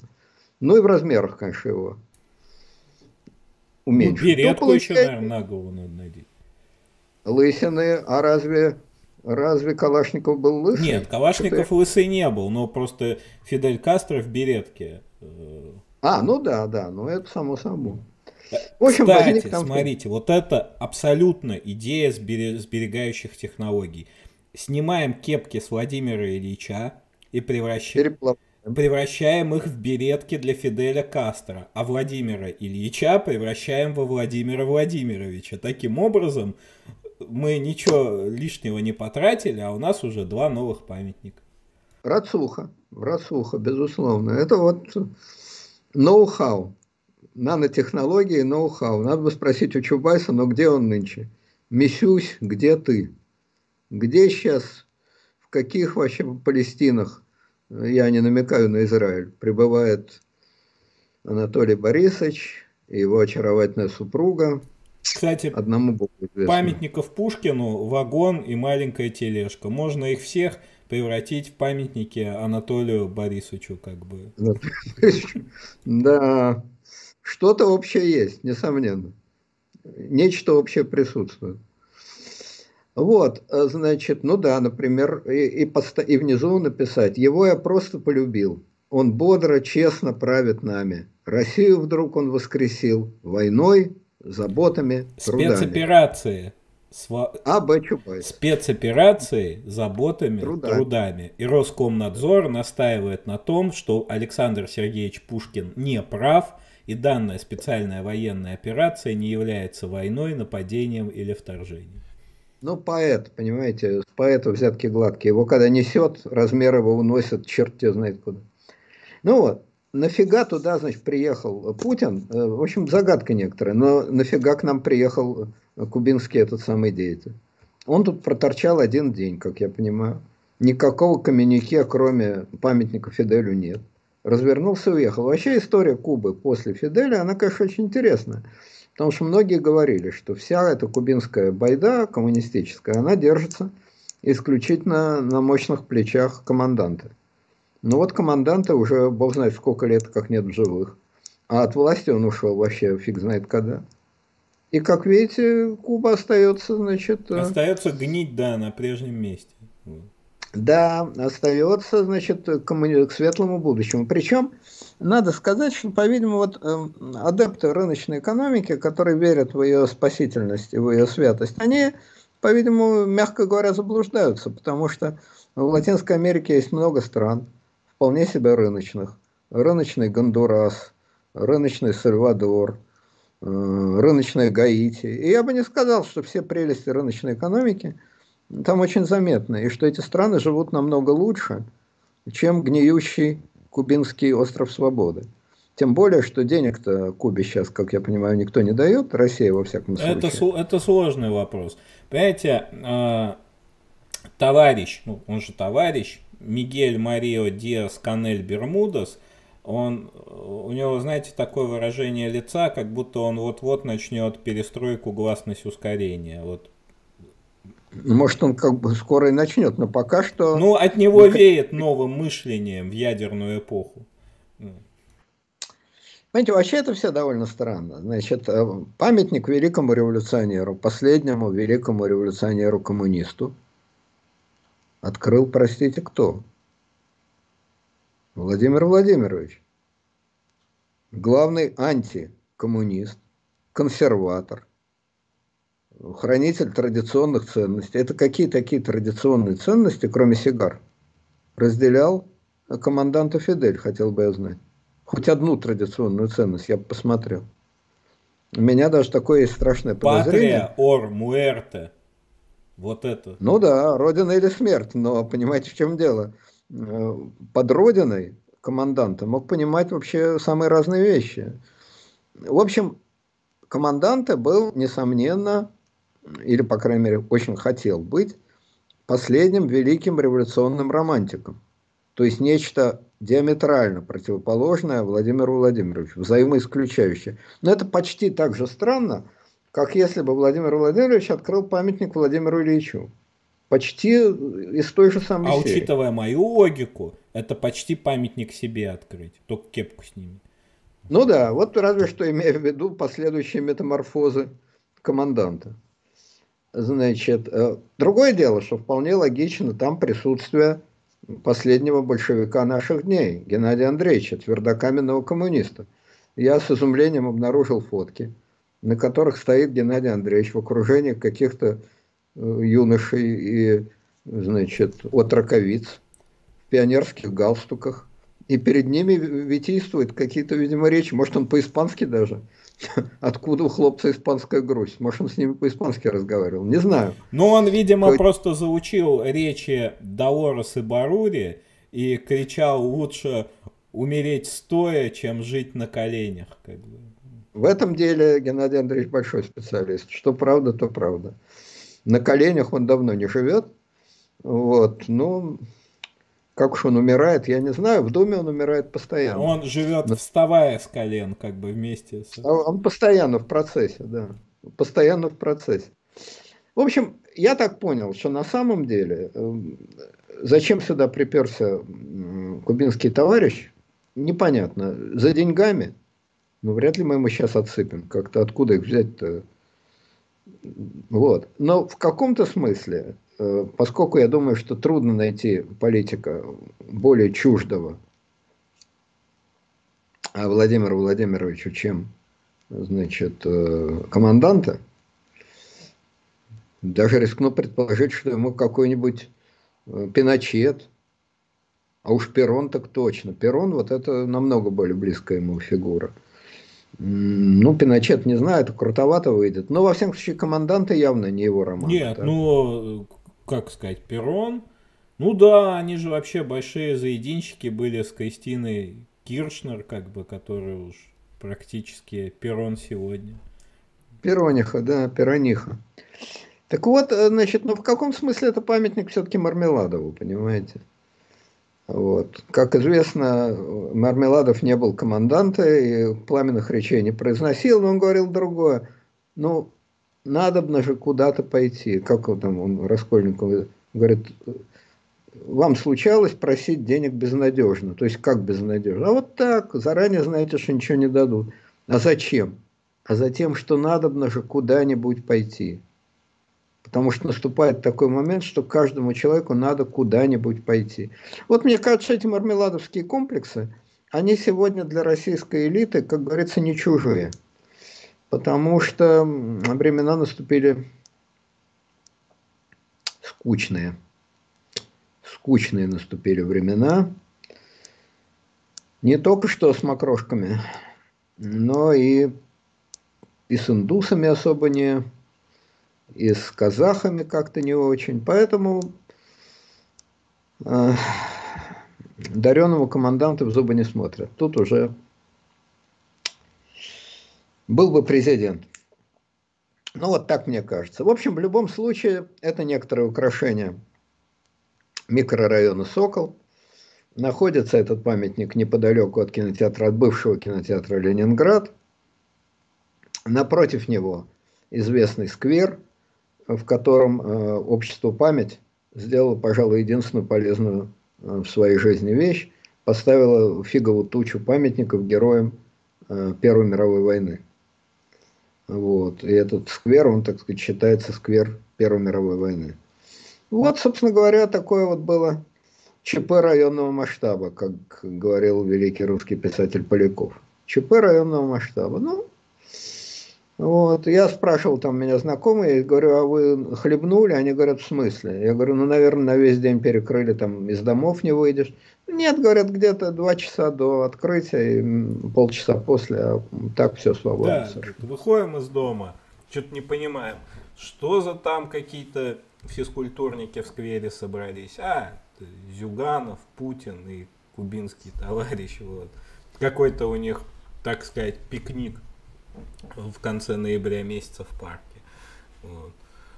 Я не уверен, что Геннадия Андреевича допустили до кубинского товарища. Совершенно не факт, кстати. Он мог приехать уже к шапошному разбору и витействовать перед своими пионерами без Нет, всякого слушайте, кубин. чтобы коммунист коммуниста не обнял и не поцеловал, так не бывает. Вот вы... ну, ну, может, он обнял и поцеловал команданта, я же не знаю. С памятником Там целовался? Ну да, постамент-то невысокий. Подставили ему лесенку, он взобрался, обнял. Ну, я думаю, Геннадий Андреевич, он нашел с кем целоваться. Ну, это да. Это да. Не, ну были там от раковицев таких, значит, пионерских этих, ну, как сказать, галстуках. Ну да, пионерский. Ну, вы вспомнили, наверное, себя пионером. Я галстук не носил, пионером был. А Что а было, то было. были? А как был. Но значок тоже не носил не носили, да? Ну, вот последний этап моего политического развития – это комсомол. В комсомол я вступил аккурат перед, значит, окончанием школы. Вот это было такое. Что было, то было. В общем, двигаемся дальше. Да, всегда готов. Хорошо. на этой неделе было еще одно судебное заседание по делу о фейках про российские вооруженные силы, которое было возбуждено в отношении политика Ильи Яшина. По итогам этого слушания арест продлили до 10 мая 2023 года. Я, если честно, не понял, какой там был скандал вот, в процессе этого судебного заседания, но было, так сказать, горячо, насколько я понимаю. И Илье Валерьевичу Яшину грозит до 10 лет, насколько я понимаю. А, и в связи с этим вот возникает такой вопрос – Яшин это Навальный сегодня. То есть в том смысле, что он сел в тюрьму и выйдет он только в одном единственном случае, э, когда, в общем, есть Путин, есть Навальный и Яшин в тюрьме. Нет Путина, Навальный и Яшин не в тюрьме. Вот эта логика, она справедлива по отношению к Илье Валерьевичу Яшину? Ну, в общем, да. Я так скажу, значит, комментировать это дело нам запрещено, и не будем. А, но личное отношение, надеюсь, не является преступлением. По-моему, это еще не нападение на российскую армию. Вот мы говорили о личном примере. Вот и Яшин, и Навальный, но прежде всего сейчас речь идет о Яшине – это, это э, пример личного примера. Человек, Яшин, который за базар ответил полностью на 100%. Э, у него было интервью, он был за границей, и распрекрасно мог там остаться. И влиться Речь идет дружно... об интервью Юрию Дудю. Дудю. Был за границей, мог там остаться и влиться в дружные ряды преобразователей России во главе с Каспаровым, Ильей Пономаревым и прочими, которые недавно провели значит, э, тусовку в Варшаве. Свою там Сухаревскую конвенцию. Значит, э, Дудь его спросил во время этого интервью, зачем ты возвращаешься в Россию? Тебя там посадят. На что Яшин ему ответил, что да, посадят. Но я возвращаюсь, потому что это моя обязанность как политика. Ну уж я не знаю, обязанность это или не обязанность, но это случай, когда человек показывает тот самый личный пример, о котором говорил Путин. Пример личного бесстрашия. Правильно? Правильно. Самый злейший враг Яшина ничего на это возразить не может. Примеры личного бесстрашия могут показывать люди разных политических взглядов полнейший антагонист Яшина, господин Стрелков, добровольно отправился на эту самую СВО. Стрелять, убивать, рисковать, воевать. Ответил за базар? Ответил за базар. Да, я думаю, что Стрелков э, на фронте рискует намного меньше, чем Яшин в тюрьме. Но это дело такое. Меньше, больше. Ну, нет, это спорный вопрос. Конечно, и тот, и другой поступок, если они в полной мере соответствуют действительности, так как мы это воспринимаем, то это, конечно, смелые храбрые поступки. В случае господина Стрелкова это еще и смелый поступок с какой точки зрения, что понятно же, что он символическая цель для ну, противника. Да, и это тоже. Но все-таки шансов, значит, э, мы не знаем точные цифры потерь, они не публикуются, но, тем не менее, шансов э, погибнуть значит, на фронте, как я понимаю, не так много, а вот шансы, что Яшин получит 10 лет, заметьте, что 10 лет в России, чтобы получить, это, конечно, никакое не убийство. За убийство человек имеет 5 лет. 10 лет это ну, не знаю, маньяк, вот, маньяк-убийца или террорист. Ну, это практически максимальный срок. Я не знаю, 25 лет в России есть? Пожизненно. Есть, в России, есть в России 25 лет, и 20, и 15, и 10. Вот. Да. Ну. Самое крайняк это пожизненное. Ну, пожизненное. Но, понимаете, опять-таки, Яшин нормальный человек и прекрасно знает, что 10 лет это всего лишь цифра. Что будут наматывать и наматывать и наматывать. Практически речь идет о пожизненном заключении. То есть, пока Путин у власти, пока Путин жив политически, Яшин в тюрьме. На что он рассчитывает? На скорый ли уход Путина от власти? Еще на что ли? Это другой вопрос. Но получил он де-факто, пошел он добровольно де-факто на пожизненный срок. Вот это факт. Это факт. Теперь, если при этом кто-то скажет, что, ну это условия политической карьеры, кто значит, не рискует, тот не пьет шампанское, я с этим не соглашусь. Я с этим готов был бы еще согласиться в случае Навального, но не в случае Яшина. Почему? В чем разница? Очень просто. У Навального есть организация. Он, так сказать, вождь организации. Соответственно, есть шанс, хотя бы теоретически, но если не стать президентом, то, по крайней мере, побороться за это высокое звание. У Яшина организации нет. Это первое. Второе. Я прошу меня простить за наивность. Ну, старикам наивность простить на старый, что малый. Так? Яшин, мне кажется, честным парнем. Хорошим, честным парнем. Таких не берут в президенты. Вы уж меня извините, таких в большую политическую карьеру не берут. Не вашему носу рябину клевать. Оппозиционер, э, моральный там, значит, авторитет э, и так далее. Это пожалуйста. Но большой политический лидер, извиняйте ну, скажем так, как любит выражаться Путин, после Ганди поговорить не с кем.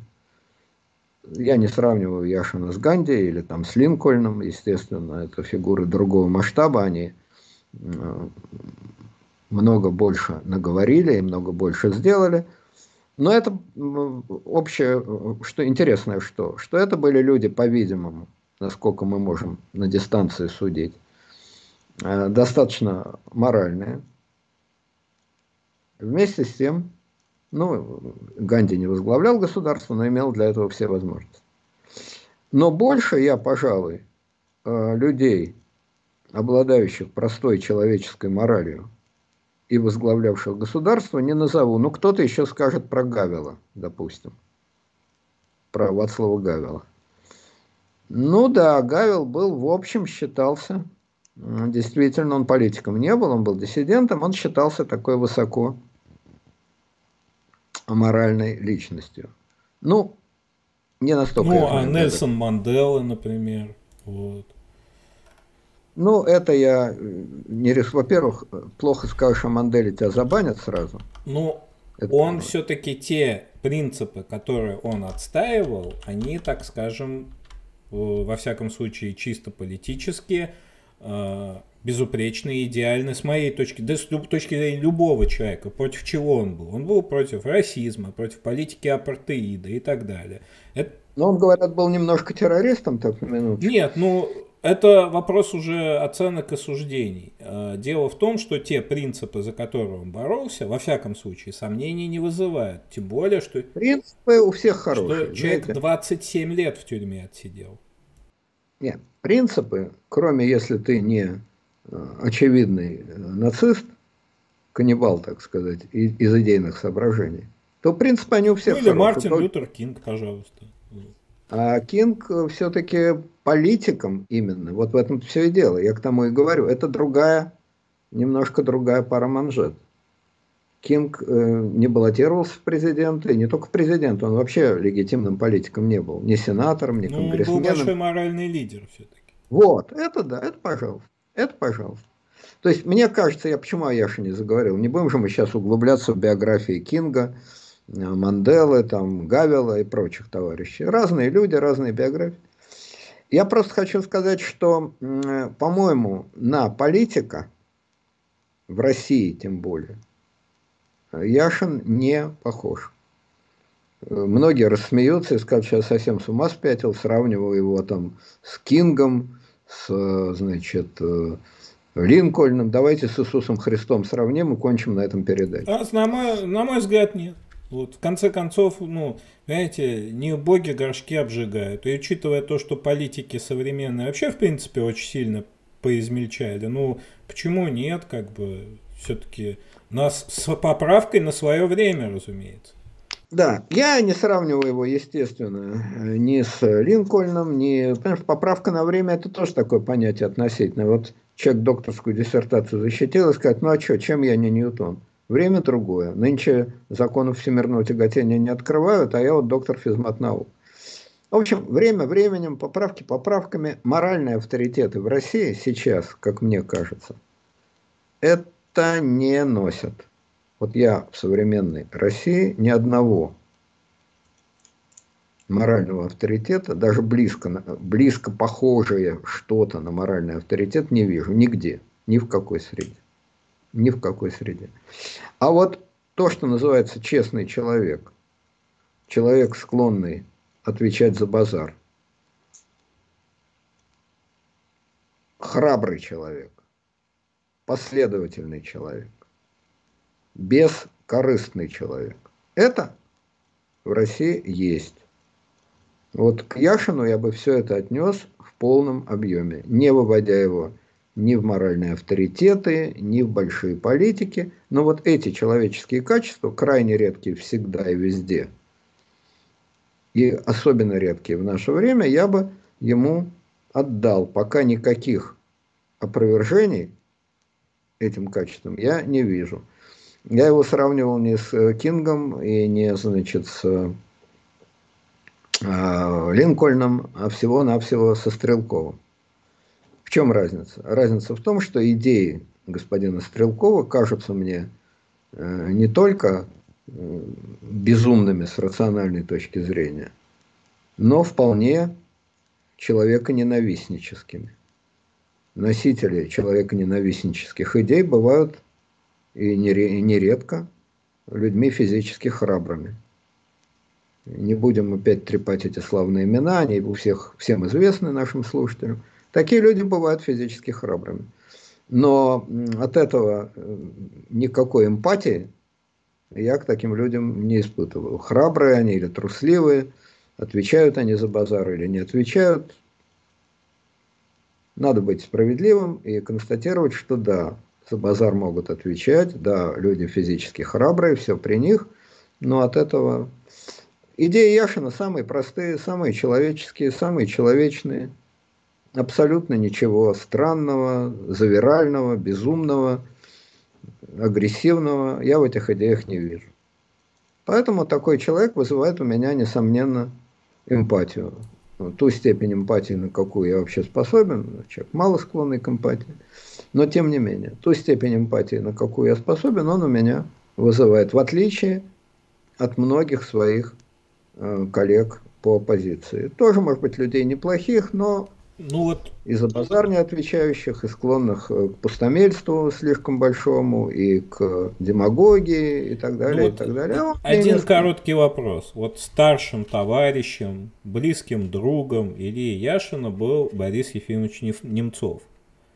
Вот. И в каком-то смысле Яшин себя, наверное, как-то ассоциирует с Немцовым. Во всяком случае, близкий ему человек. Вплоть до того, что он много раз говорил, что это лично его друг, и Немцов, принципе, считал его близким другом. Неужели Борис Ефимович у вас не вызывал вот подобных чувств? А, ну, как вам сказать, Немцов, э, с моей точки зрения, ну, далековато ушли. Буквально ну, в ладно. пределах минуты, коротко. Немцов был человек человечный. Человечный, непосредственный. Для политика это очень много. Безусловно. А Он был человек нехитрый, что для политика тоже много. Не факт, что хорошо, в смысле эффективно, но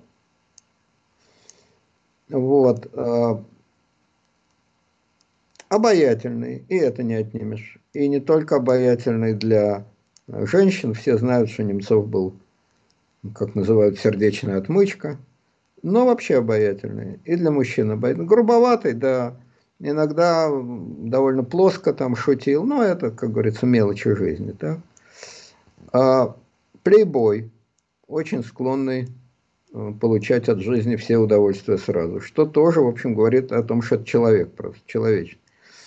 Вот, в человеческом плане из крупных российских э, деятелей э, Немцов, конечно, выглядел лучше всех, человечнее всех, нормальнее всех. Но я не могу объяснить, почему это, или долго надо думать, крутить, вертеть, но вот интуитивно, интуитивно, Яшин мне симпатичнее. Не могу вам сказать почему. Это можно долго разбирать и там, а потом, ну что, ну вот, как говорил Никита Михалков. Один любит арбуз, а другой свиной хрящик. Фильм «Жестокий романс». Да? Ну вот мне, значит, э, вот так. Кому-то, наверное, по-другому. Много было людей, которые вызывали уважение. Вообще довольно много, так сказать. Э, большое уважение вызывал Валера Абрамки.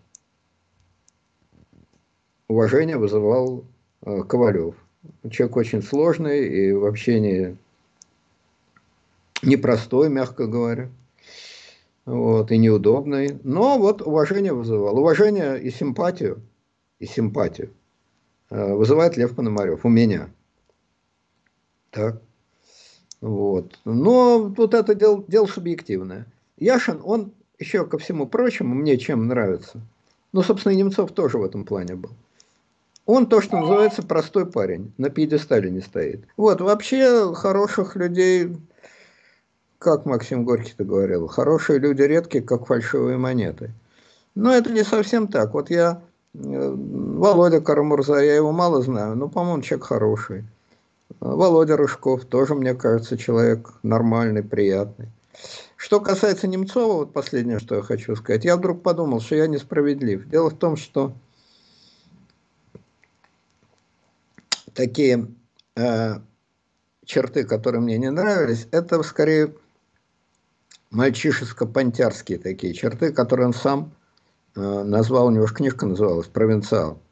Вот это в нем было. Но с годами с него это стало слезать. И как раз очень обидно, что Немцова убили именно в то время, когда он, как говорится, помудрел, начал мудреть. Вот возраст, он же обнажает, наносное слезает, а, каркас, если он есть, вылезает. Вот Немцов в последние годы жизни, я не помню, сколько ему было, он убили-то его, он был человек молодой, лет 50 примерно. Но он начал входить в возраст ну, зрелости, мудрости, там, как хотите, назовите. И вот эта вот такая суетливость, э, такая, значит, э, э, ну, политическая мельтешня – это от него стало отходить. А основа у него была здоровая, хорошая.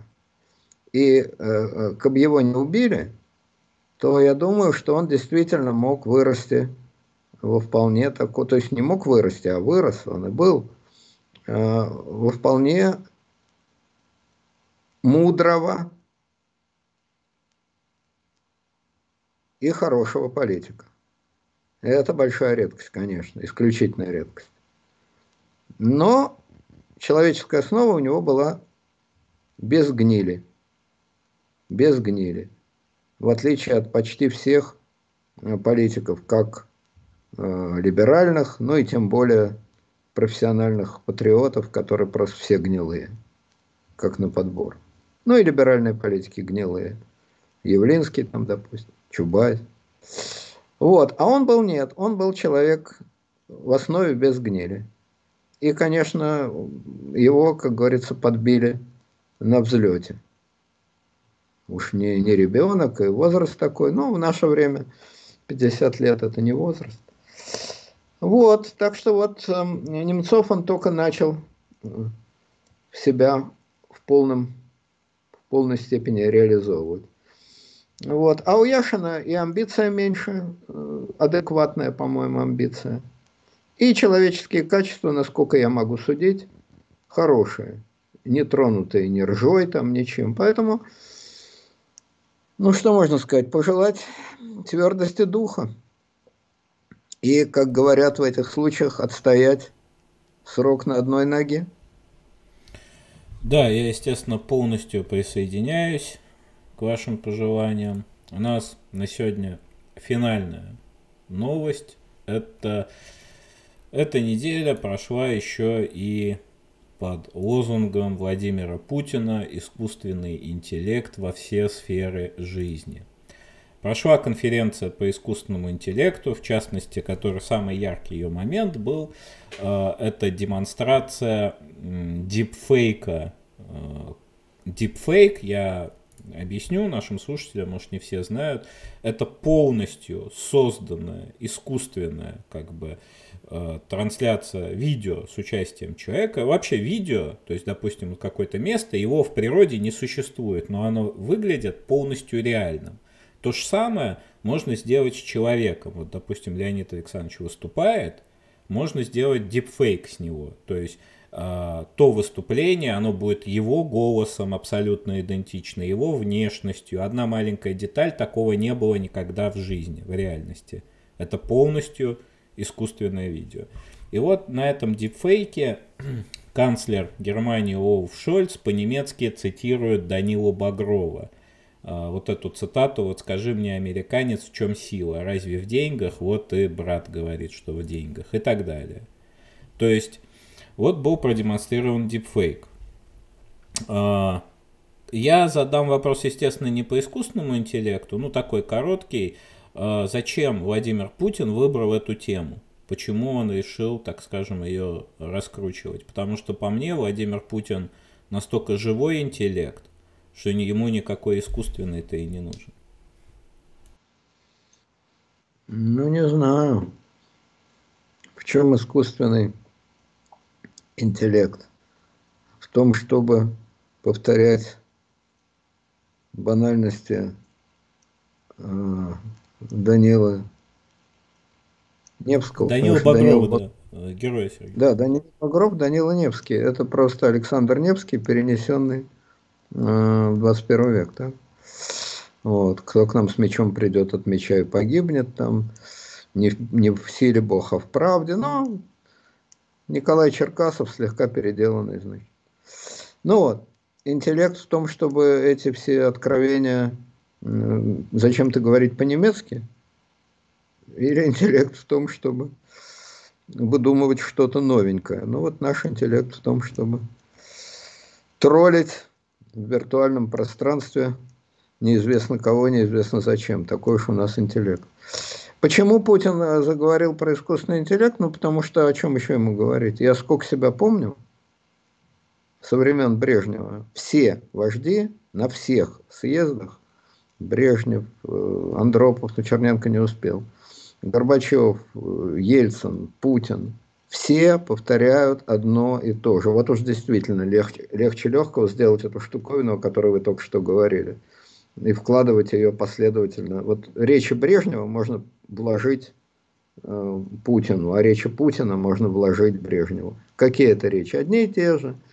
Научно-техническая революция, необходимость переходить от сырьевой экономики, от добычи полезных ископаемых к высокотехнологичной, э, к развитию значит, новейших отраслей. И даже содержание этих отраслей примерно одно и то же. Вечная, значит, компьютерная, ну, при советской власти там говорили супер э, электронно-вычислительная техника, компьютерные, значит, дела, э, естественно, управляемый термояд, генная инженерия, вот 50 лет, да, ну и конечно, конечно, конечно, э, вечное одно и то же, что мы самые умные в мире, так же, как мы самые духовные, не зря же Баргов говорит, э, в чем сила? По-твоему, во внедрении? Нет. Сила в креативе, дурак ты. Внедрять это ваша пиндосовская мелочь. А у нас креатив. Вам, козлам, не додуматься. Мы самые креативные, но да, мы широкие, Россия щедрая душа, мы выдумываем все, а потом наши гениальные идеи, всякие там западные, значит, внедряют, и нам, мы же потом покупаем за бешеные деньги. Это мы слышали от Леонида Ильича, от Юрия Владимировича, от Михаила Сергеевича, естественно, от Владимира Владимировича, от Бориса Николаевича. Все мы выдумали. Теорию всемирного тяготения, например, с теорией относительности. А они потом вот как-то это, значит, э, практически, они мелкий умок-то у них, мелкий, но практичный. Мелкий, но практичный. И потом они же нам продают. И на самом деле даже нельзя сказать, что это полное вранье. Это, конечно, вранье и бред, и хвостовство нелепое. Но отчасти, это отчасти и правда. Действительно, в России теоретическая наука уж какая есть. Не самая сильная в мире, но достаточно сильная. Ну, тут... Она более развита, чем прикладная. И действительно с внедрением совсем швах. Не, не, не, не, не, Леонид Александрович. Вот давайте тут немножко не делать поспешных выводов. Есть такой принцип, называется уровень внедрения отсталых стран. Ну, во всяком случае, я так это называю. Отсталые страны гораздо легче внедряют новое. Ну, вот просто посчитайте, там, допустим, в лучшие времена э, средний возраст какой-нибудь техники, которая функционирует в России, и средний возраст техники, которая функционирует в Германии. И вы удивитесь, но в России Отчасти гораздо ну, мы, не мы покупаем готовое, все-таки не внедрение. Внедрение имеется в виду от того, нет. как придумал, до того, как произвел сам. А, все. нет, это все-таки не внедрение, это все-таки разработка. Раз... Разработка. Да, внедрение это как вот раз таки. Разработок мы никуда не годимся. А что-то выдумывать, нет, это в России могут отнюдь не в тех объемах и не того качества, как это принято хвастаться, что мы где самые-самые. Не самые. Но что-то могем, могли, теперь уж нет, потому что мозги-то утекают, на то они и мозги. Вот, в общем, короче говоря, сейчас я вам дам, э, само, уйду, потому что я в этом нифига не понимаю и буду только слушать. Просто раз вы спросили, я скажу очень коротко. Значит, э, это банальнейшая песня, которую поют, вот действительно, я внедрял при Александре II Освободителе, я внедрял при Александре Третьем миротворца, я внедрял при Николае II Кровавом, э, при Непе я внедрял, о, как я внедрял при Непе. А внедрять-то нечего, да? Вот с внедрениями у нас идет плохо, ну, очень плохо. Что при миротворце, что при Кровавом, что при Непе. Но говорили об этом все время. С утра до вечера об этом всегда говорили и говорят. Я и последнее, что хочу сказать, что я поинтересовался, значит, это как-то еще было все связано со Сколково. Вошел на сайт Сколково. Значит, Сколково это же не фирма, а это инновационный центр. Там много фирм, там 3000 каких-то фирм маленьких. Значит, объем, объем э, продаж э, всех фирм, входящих в инновационный центр Сколково э, за 2021 год. Это значит 240 миллиардов рублей. Учитывая курс рубля в 2021 году, это где-то 3 с копейками, 3,5 миллиарда долларов. Ну, для американских, европейских, черт с ними с американскими, пропадя не пропадом, для европейского э, хай-тека, там, немецкого, э, французского, это, ну, на порядок меньше, а для американского это раз в 50-60 меньше, чем допустим, э, если соединить среднего, среднего масштаба, но много значит, э, э, стартапов. Так? А если взять крупные российские, ну вот Яндекс, допустим, и сравнить с очевидным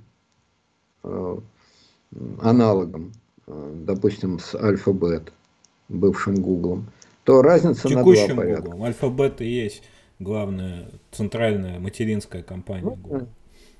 Разница по продажам, по выручке, по выручке, на два порядка, в сто раз. Ну ладно, опять-таки, черт с ней с Америкой. Но если взять э, европейские аналоги, ну разница там в 10 раз. То есть э, нельзя сказать, что у нас вот совсем ничего нет, шаром покати там и так далее. Нет, конечно, но уровень для великой по населению просто, самой большой по населению европейской страны, уровень постыдный. Откровенно никчемный постыдный уровень. Вот то очевидное, что... И последняя цифра, которая тоже когда-то интересовался этим делом, э, значит, в мировом экспорте высокотехнологичной продукции доля России это какие-то десятые доли процента, 0,3 процента, 0,5 процентов, при том, что доля России в мировом ВВП в 10 раз больше, где-то 2%, 3%, ну там по-разному считают. А доля в мировом высокотехнологичном экспорте 0,3-0,5%. Ну, то есть полный провал. Намного, кстати, больше провал, чем э, во времена Советского Союза, когда все-таки наукоемкая продукция вопреки всем разговорам диссидентов и советских интеллигентов, наукоемкая продукция производилась. В основном, конечно, военная, но, тем не менее, производилась. Вот, собственно говоря. Да, это, например, в десятки раз меньше, чем высокотехнологичный экспорт Польши. Вот. У Польши там цифра в десятки раз выше, чем у России. Что вы говорите? Да? Вот. Считать. То есть это да, мы даже в этом плане не маленькая европейская страна. Даже, по-моему, Венгрии, по-моему, выше. Вот, с Румынией. Ну, ну это может. я не уверен. Но у Польши точно выше, при том выше почти там на порядок. А, насчет искусственных, искусственных... Я думаю, что говорить плохое насчет того, как у нас обстоит с этим дело, это большой туризм. В конце концов, Э, я не постоянный гость э, радиостанции «Эхо Москвы», который сейчас живой гвоздь. Поэтому я попробую сказать кое-что хорошее, на самом деле. Потому что я с этим просто сталкивался. Я работал в некоторых крупных российских компаниях, работал айтишником, и примерно себе представляю, что это такое. Хотя непосредственно с нейросетями я не работал. Ну, тоже есть представить. Что такое перцептрон, я знаю. Предмет такой был у меня в университете. Привет, двойка. Вот эта школа Сколково, о которой вы говорите, Сколтех, э, это, не, это то, что вызывает смешанные чувства. Да, с одной стороны, там масса проектов, которые можно просто на них бить штамп нанотехнологии и отправлять к Анатолию Борисовичу как бы с другой стороны, было очень, очень много хороших профессоров Сколтеха. Я вот, как человек немножко интересующийся, вот, например, очень внимательно следил за семинаром «Байесовские методы машинного обучения». Этот семинар э, вел один из ведущих аналитиков Яндекса.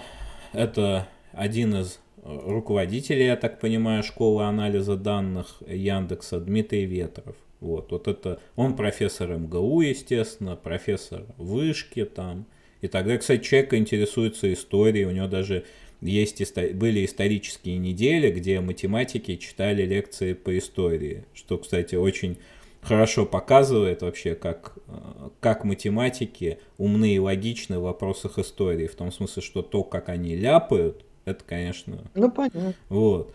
А, но, тем не менее, даже это было интересно. И вот эти байесовские методы машинного обучения, это было, ну, это все-таки круто. Это похоже на науку в большой степени.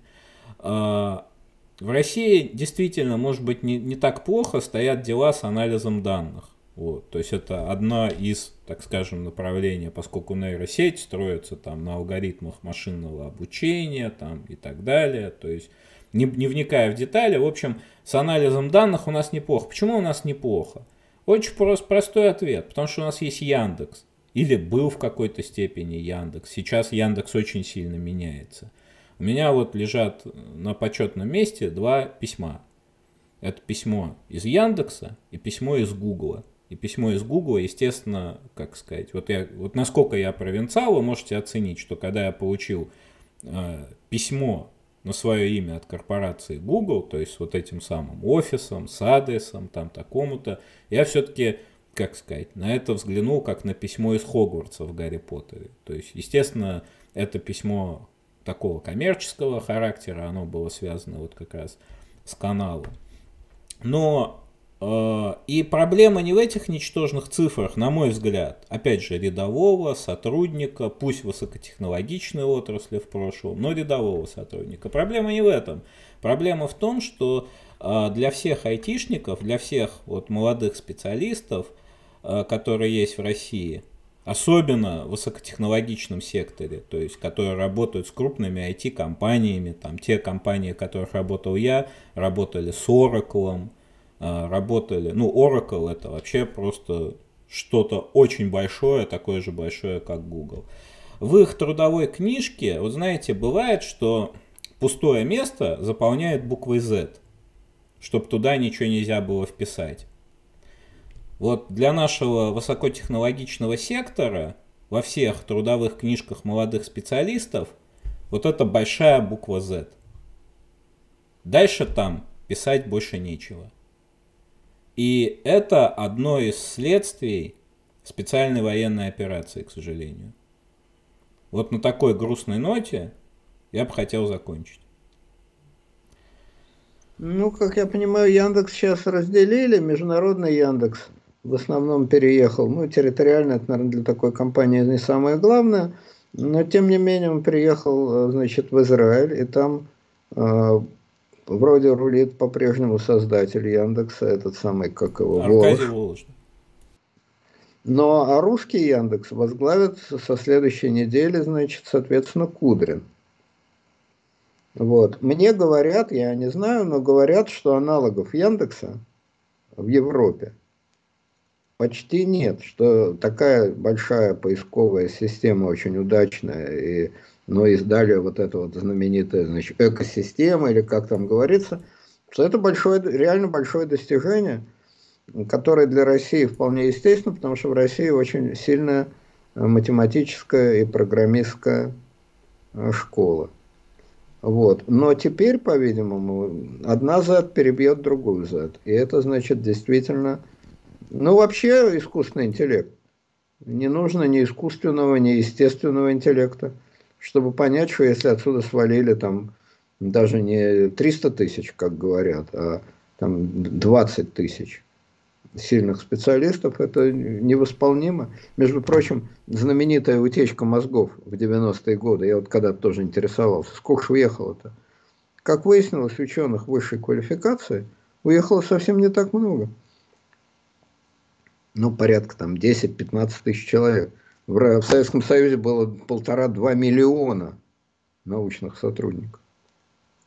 Полтора-два ну, миллиона. Ну, предположим, из них огромная доля это были, так сказать, э, представители марксистско-ленинской науки в Сусловском ее издании. Нет, общественной науки вообще не считаю. Просто это ну, ну, слабые специалисты. Один процент уехал, и все. Это ну, слабые специалисты сильных специалистов, по-настоящему сильных, всегда мало. Это все равно, что э, клетки в организме человека. Есть нервные клетки, а есть, э, значит, соматические клетки. И то клетки, и это клетки. Но для разрушения э, нервной системы не требуется, чтобы, так сказать, огромное количество соматических клеток из организма выпало. Поэтому я это к тому говорю, что отъезд даже не очень большого по цифре, но высококвалифицированного класса людей, это необратимо, это как вот, э, э, как выяснилось, не анекдот, я думал, это выдумка, анекдот. Нет, говорят правду, что вот этот знаменитый разговор э, Гильберта с Рустом, министром образования Германии, когда Руст его спросил, врут ведь, что с отъездом евреев и их друзей ваш университет, то есть Геттингенский университет, много потерял. И Гильберт сказал, каша врут, ничего он не потерял, просто его больше нет. Говорят, что это святая правда. При том, что это было сильное преувеличение, Геттингенский университет остался, работал, и сейчас немецкие университеты очень сильные, так что немножко тут Гильберт загнул. Но, конечно, того уровня, который был э, в Германии до иммиграции а, ученых 30-х годов. Конечно, такого уровня вернуть уже по объективным причинам невозможно. Но Гильберты и а уехали. Гильберты-то а? и уехали. Да, Гильберты и уехали. А в России такого уровня и не было. Но с того уровня, который был, конечно, я не о фундаментальной науке, бог с ней, с ней все понятно, но о прикладной вот именно. И, конечно, не думаю я, что выступления Путина, да, они имеют огромное сакральное значение и, по-видимому, окажут гигантское влияние на ученых и на специалистов. И, наверное, после выступления Путина многие вернутся, безусловно. Но я не уверен, что вернется достаточное количество. Если Владимир Владимирович будет каждую неделю выступать на эту тему, тогда да, тогда мы все компенсируем. Но если он будет выступать редко, то одно его выступление, к сожалению, к сожалению, погода не сделает. Я думаю, что большую жирную букву Z на российском хай-теке уже, конечно, нарисовали. Еще раз говорю, те, кто пишет в комментариях о том, что ничего этого хай-текового не было, ну, пожалуйста, вот э, я без всяких мудростей. Возьмите Алису, то есть Алиса это голосовой помощник Яндекса. Возьмите, господи, Сири, это голосовой помощник Apple. Ну вот. В принципе, Siri, конечно, тупая, а, но на фоне Алисы она, в общем, взрослый адекватный человек. Но робот Алиса это тоже не Шариков, это в принципе адекватный как бы робот, адекватный интеллект, то есть это что, что люди покупают, то есть они покупают там вот эту умную колонку от Алисы. Обидно то, что даже Алису мы буквой Z перечеркнули. Это мое субъективное мнение. А Касперский тоже ведь э, лаборатория международного Нет, Касперский... Нет? Нет, нет, конечно, Касперский, да, но просто Касперский для всех давным-давно филиал ФСБ, как бы, вот, поэтому... Ну, это правда, ну и что? Ну, ладно, при случае, я думаю, мы обо всем этом поговорим, потому что к продуктам лаборатории Касперского у меня особое отношение. А, уважаемые слушатели, Подписывайтесь на канал, ставьте лайки, дизлайки, отписывайтесь, если вам не нравится. Э, участвуйте в вопросах, они проводятся в Телеграме. Большое спасибо всем, кто репостит видео, кто распространяет, кто поддерживает канал на Патреоне. Я очень надеюсь, что на нашей жизни, в нашей, вот так сказать, трудовой книжке вот эта буква Z которая означает, что более ничего записано не будет на странице, что вот эту букву Z нам всем не поставят. Большое спасибо вам, Леонид Александрович. Всего доброго. До